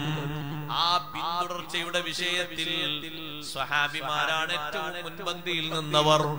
അവർ കഴിഞ്ഞാൽ തൊട്ടടുത്തുള്ള താബിയുകളാണ് ശേഷം തബഴ് താബിയുകളാണ് മൂന്ന് നൂറ്റാണ്ടുകൾ ജീവിച്ച ആളുകൾ ചെയ്ത ഇത്തിബാ ഇല്ലേ? അവരുടെ മഹബത്ത് ഒന്ന് വേറെയാണ്. കാരണം അവർ പിൻപറ്റിയത് ചാൺ ചാണിനോട് ചേർന്നുകൊണ്ടാണ്. മുഴമ്പുഴത്തോട് ചേർന്നുകൊണ്ടാണ്. ഒരിഞ്ചി വിട്ടുമാറാതെയാണ് അവരുടെ ഇത്തിബാ അവരുടെ പിന്തുടർച്ച സർവ വിഷയങ്ങളിലും ആ പിന്തുടർച്ച വേണം നമുക്ക്. അപ്പോഴാണ് നമ്മുടെ ജീവിതത്തിലെ ഏറ്റവും കൂടുതൽ അള്ളാഹുവിനെ ഇഷ്ടപ്പെടുന്നുണ്ട് എന്നതിനൊരു തെളിവ് വരുന്നത് തങ്ങളെ വെക്കുമ്പോഴാണ് എങ്ങനെയാണ് ഈ ഹുബിലേക്ക് നമ്മൾ എത്തിയത്? അള്ളാഹു അവന്റെ അടയാളമായി പറഞ്ഞത്. അള്ളാഹുവിനെ സ്നേഹിക്കുന്നതിന് അടയാളമായി പറഞ്ഞത് നബി തങ്ങളെ ഇത്തിബാ ചെയ്യലാണ്. തങ്ങളെ എത്രത്തോളം പിന്തുടരാനും എത്രത്തോളം ആ പിന്തുടർച്ച അവകാശപ്പെടാനും നമ്മിൽ ഉണ്ടോ? അത്രത്തോളം നമുക്ക് മഹബത്ത് അധികം ഉണ്ട്. അത് ഓരോ പ്രവർത്തനങ്ങൾ വെച്ച് വേണം പറയാൻ. ഞാൻ അത്രയും വിശദമായി പറയുന്നില്ല. നിത്യജീവിതത്തിലെ പ്രവർത്തനങ്ങൾ എടുത്തു നോക്കുമ്പോ എല്ലാ പ്രവർത്തനങ്ങളിലും അത് വേണം. വേണം. ചെരുപ്പ് അഴിച്ചു വെക്കുന്ന ഒരാൾ ഇടത്തെ കാലിന്റെ ചെരുപ്പ് ആദ്യം അഴിച്ചു വെക്കണം. അഴിച്ചു വെക്കുമ്പോൾ അത് ആണ്. ചെരുപ്പ് ധരിക്കുന്ന ആൾ വലത്തെ കാലിന്റെ ചെരുപ്പ് ആദ്യം ധരിക്കണം. അത് ഇത്തിബാ ആണ്. അങ്ങനെ വലത്തേതിനെ മുന്തിക്കേണ്ട രംഗങ്ങളിൽ വലതിനെ മുന്തിക്കുകയും ഇടത്തെ ഭാഗം മുന്തിക്കേണ്ട രംഗങ്ങളിൽ ഇടത്തെ ഭാഗത്തെ മുന്തിക്കുകയും ചെയ്യേണ്ടത് ആ ഇത്തിബായിന്റെ ഒരു മാർഗമായിട്ടാണ് മുടി വെട്ടുന്ന ഒരാൾ മുടി കളയുന്ന ഒരാൾ വലത്തെ ഭാഗത്തുള്ള മുടി കളയാനാണ് ആദ്യം ശ്രമിക്കേണ്ടത്. അതാണ് നബി സല്ലല്ലാഹു അലൈഹി വസല്ലം തങ്ങൾ മുടി കളഞ്ഞ കളയാൻ വേണ്ടി വന്ന അബൂ തുൽഹത്തുൽ അൻസാരി റളിയല്ലാഹു അൻഹുവിനെ വലത്തെ ഭാഗം കാണിച്ചു കൊടുത്ത് അവിടെ വടിക്കാൻ വേണ്ടി പറഞ്ഞു. വടിച്ചിട്ട് ആ മുടിയൊക്കെ തങ്ങളുടെ കയ്യിൽ ഇങ്ങനെ എടുത്തു. ഹജ്ജത്തുൽ വദായിലാണ് സന്ദർഭം. ആ മുടി അങ്ങനെ മഹാനവർകളെ കയ്യിലേക്ക് കൊടുത്തു. പിന്നീട് ഇടത്തെ ഭാഗത്തെ മുടിയും കളഞ്ഞു. അതും എടുത്ത് മഹാനവർകളെ കയ്യിൽ കൊടുത്ത് ബാക്കിയുള്ള ഭാഗത്തെ മുടിയും കളഞ്ഞു. വലത്തെ ഭാഗത്തെയും ഇടത്തെ ഭാഗത്തെയും മുടിയെടുത്ത് എടുത്ത് കയ്യിൽ കൊടുത്തിട്ട് ജനങ്ങൾക്കിടയിൽ ഇത് വിഹിതം വെച്ചു കൊടുക്കൂ.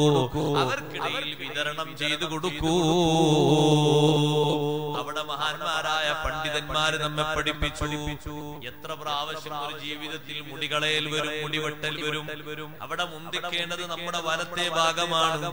അതാണല്ലോ ഇത്തിബാന്റെ ശൈലി. മുടി വാരുന്ന ആളുകളില്ലേ അവരും ആദ്യം വലത്തെ ഭാഗത്തെ മുടിയാണ് വരേണ്ടത്. താടി ചീകലും സുന്നത്താണ് വലത്തെ ഭാഗത്തെ താടിയാണ് ചീകേണ്ടത്.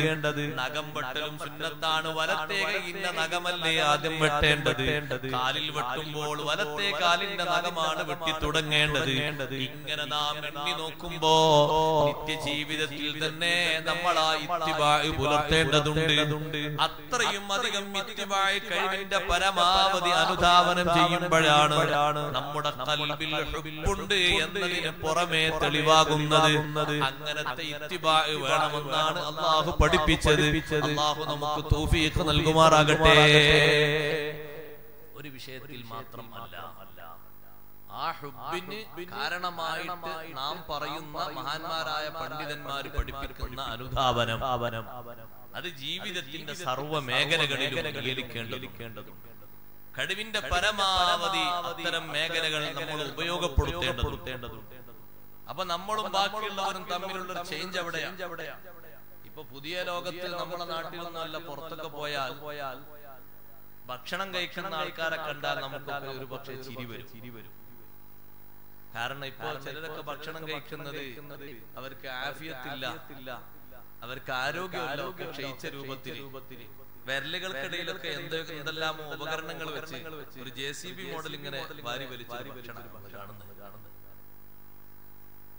അത് സുന്നത്തിനെതിരാണ് കൈകൊണ്ട് ഭക്ഷണം കഴിക്കലാണ് കൈകൊണ്ട് തന്നെ വലത്തെ കൈ കൊണ്ട് ഭക്ഷണം കഴിക്കലാണ് സുന്നത്ത്. അതും ചെറിയ ഭക്ഷണമാണെങ്കിൽ മൂന്ന് വിരലാണ് പ്രധാനമായി ഉപയോഗിക്കേണ്ടത്. തള്ളവിരലും അതിനോട് ചേർന്ന് കിടക്കുന്ന രണ്ട് വിരൽ. രണ്ട് വിരൽ. കുറച്ചുകൂടി വലിയ ഭക്ഷണമാകുമ്പോ അഞ്ച് വിരൽ ഉപയോഗിക്കും. ഉപയോഗിക്കും. അവിടെ തന്നെ ആ ഉപയോഗിച്ച് ഭക്ഷണം കഴിക്കുമ്പോൾ തന്നെ ഉള്ളം കയ്യിൽ എത്താത്ത രീതിയിലാണ് ഭക്ഷണം ഭക്ഷണം ഇങ്ങനെ പിടിഞ്ഞ് പിടിഞ്ഞ് കുടഞ്ഞ് ഉരുട്ടി ഉരുട്ടി ഉരുട്ടി മറിച്ചല്ല. ഈ ഉള്ളം കയ്യിൽ ആകാത്ത രൂപത്തിൽ കുഴച്ചിട്ടാണ് ഭക്ഷണം കഴിക്കുന്നത്. കുടിക്കേണ്ടതും കൈകൊണ്ട് കൈ കൊണ്ട് തന്നെയാണ്. തന്നെയാണ്. ചില ആൾക്കാർ വലത്തെ കൈ ഇങ്ങനെ ഒരു താങ്ങായിട്ട് വെച്ച് കൊടുക്കുന്നത് കാണാം. എന്തോ ഒരു സാധു സാധു പോലെ. കുടിക്കേണ്ടതും വലത്തെ കൈ കൊണ്ട് ഒരു ഇങ്ങനെ താങ്ങ വെച്ച് കൊടുക്കുന്ന താങ്ങി നിർത്തേണ്ട ആവശ്യമൊന്നുമില്ല. വലത്തെ കൈ കൊണ്ട് തന്നെ. അപ്പൊ അതിന്റെ പുറത്തൊക്കെ പുറത്തൊക്കെ ഏതാനും കഴുകുമല്ലോ. കഴുകുമല്ലോ.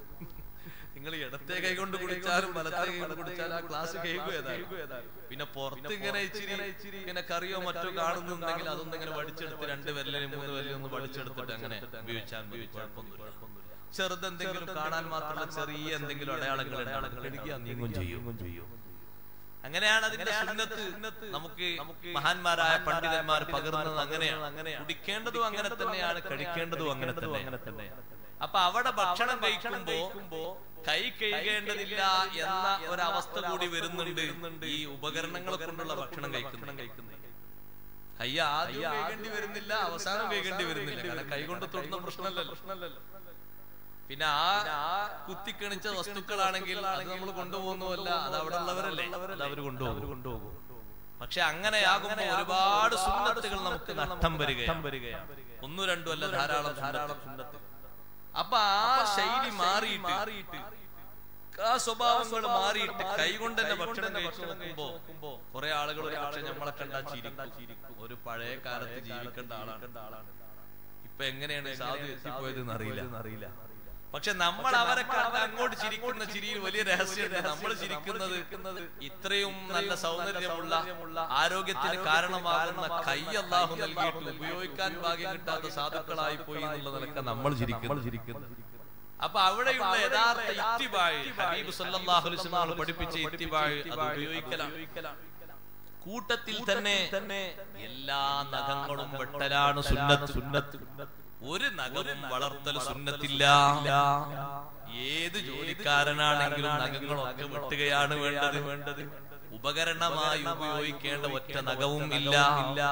സ്വന്തം ശരീരത്തിലും മറ്റുള്ളവരുടെ ശരീരത്തിലുമായി അറിയാതെയും അറിഞ്ഞും അറിഞ്ഞും തൊട്ടൊന്ന് പ്രസ് ചെയ്യുമ്പോൾ വലിയ വിഷമേൽപ്പിക്കുന്നതാണ് നഖം എന്ന് പറയുന്നു പറയുന്നത്. അത് വളർത്തുന്നത് പരിശുദ്ധിക്ക് കുറവാണ്. നബി സല്ലല്ലാഹു അലൈഹി വസല്ലം തങ്ങളെ പക്കൽ പക്കൽ ജിബ്രീൽ അലൈഹിസ്സലാം വരാത്ത ഒരു സന്ദർഭം ഉണ്ടായപ്പോൾ അതിന് മഹാനവർകൾ കാരണം പറഞ്ഞത് ഞാൻ തങ്ങളുടെ അടുത്തേക്ക് എങ്ങനെ വരാനാണ്? നഖം വളർത്തിയ ചില ആളുകൾ അപ്പോഴൊക്കെ കൂടെ ഉണ്ടായിരുന്നല്ലോ നഖം വളർത്തുക എന്നത് പരിശുദ്ധിക്ക് കുറവാണ്.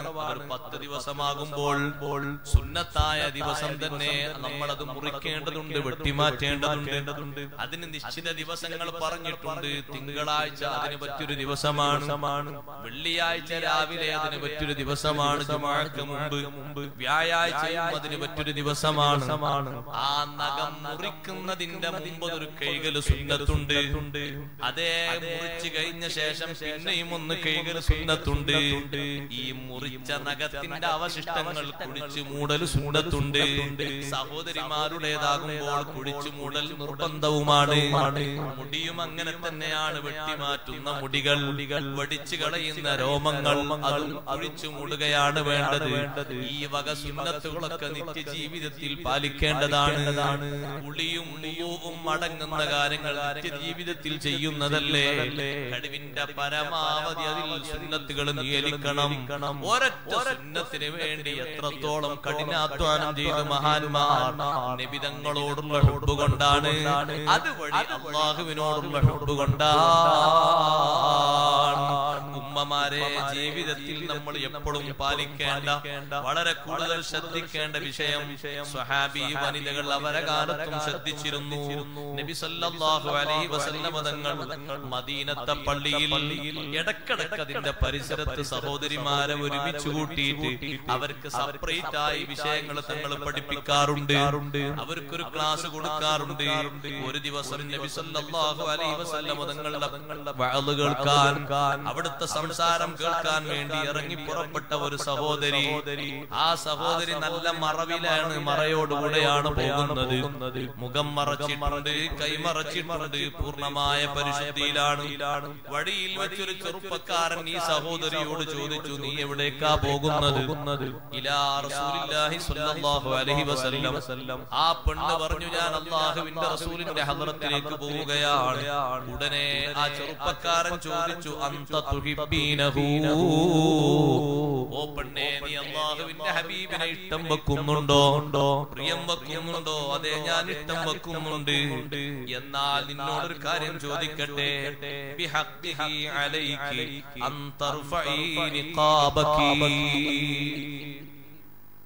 നിങ്ങളെ നീ വല്ലാതെ ഇഷ്ടം വെക്കുന്ന പെണ്ണല്ലേ?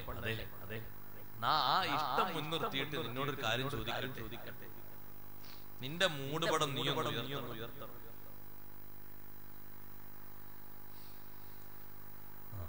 ബക്കറ്റ് പിരിവ് വരുന്നുണ്ട്. എല്ലാവരും നല്ല സംഭാവന കൊടുക്കണം.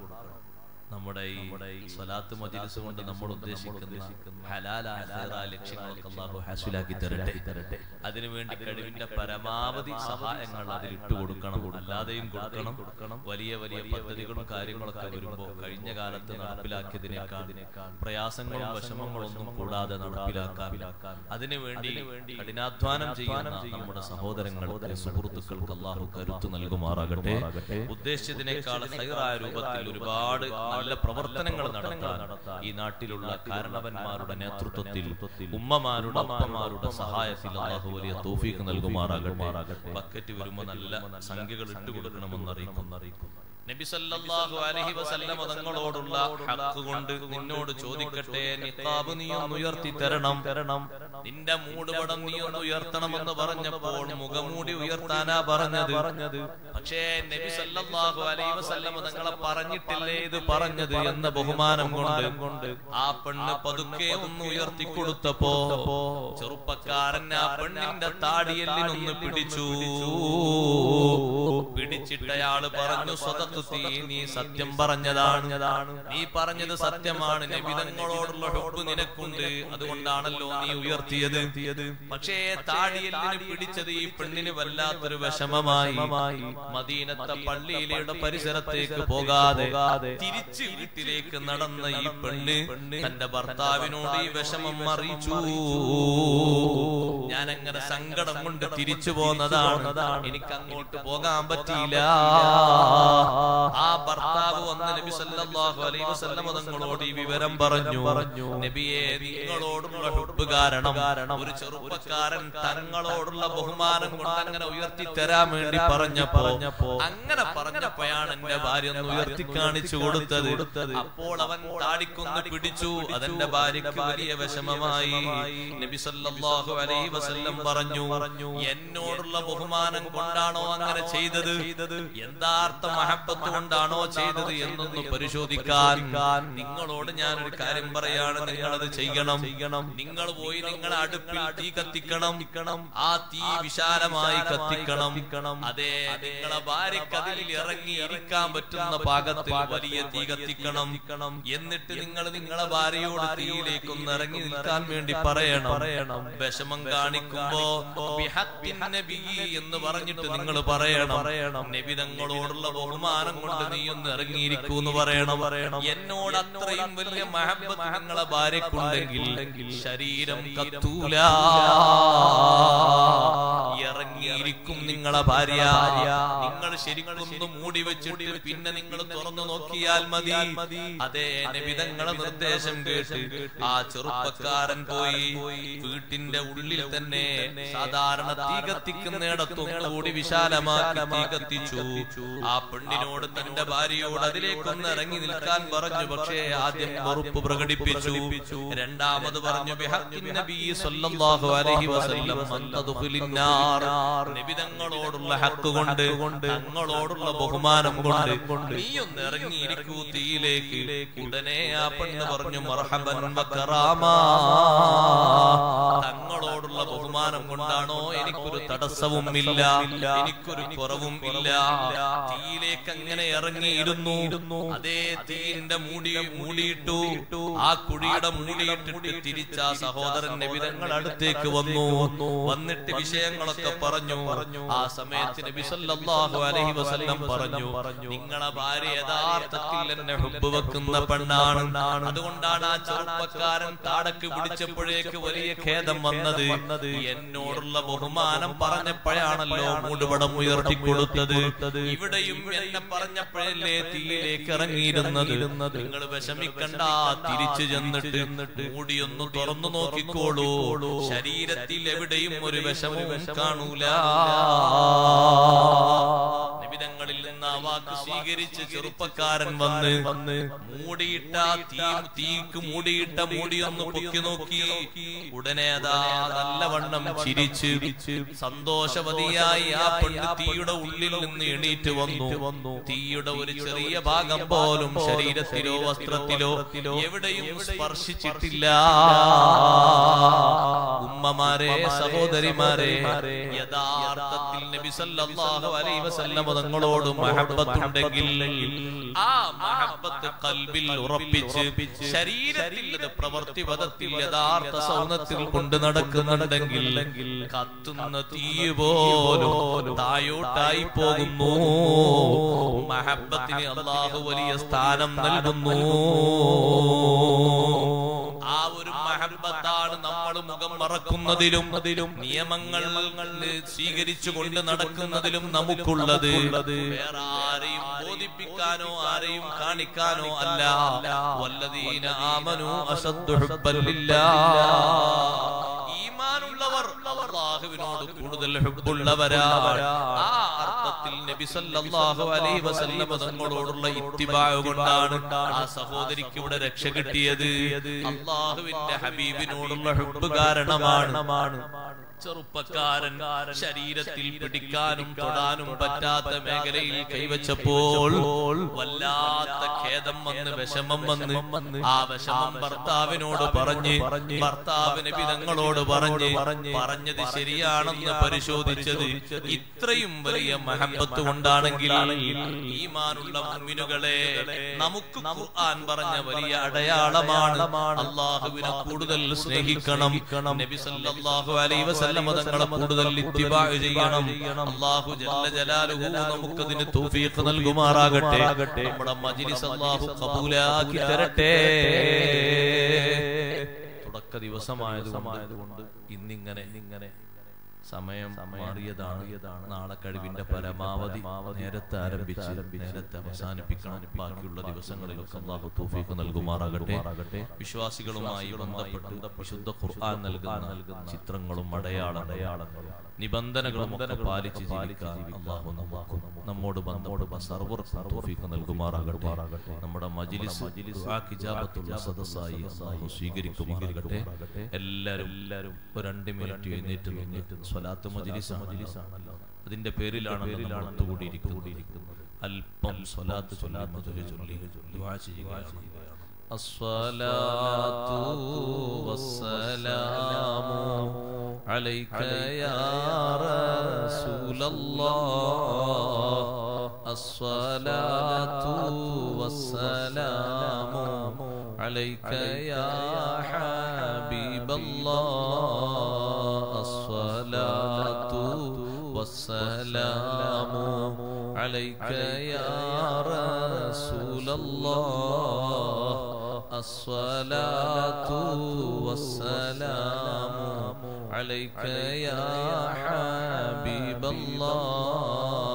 بلغ المدح في أوصافه فما بلغ. بالغ معشر ما أوتي بما في البال بال الصلاة عليك يا رسول الله.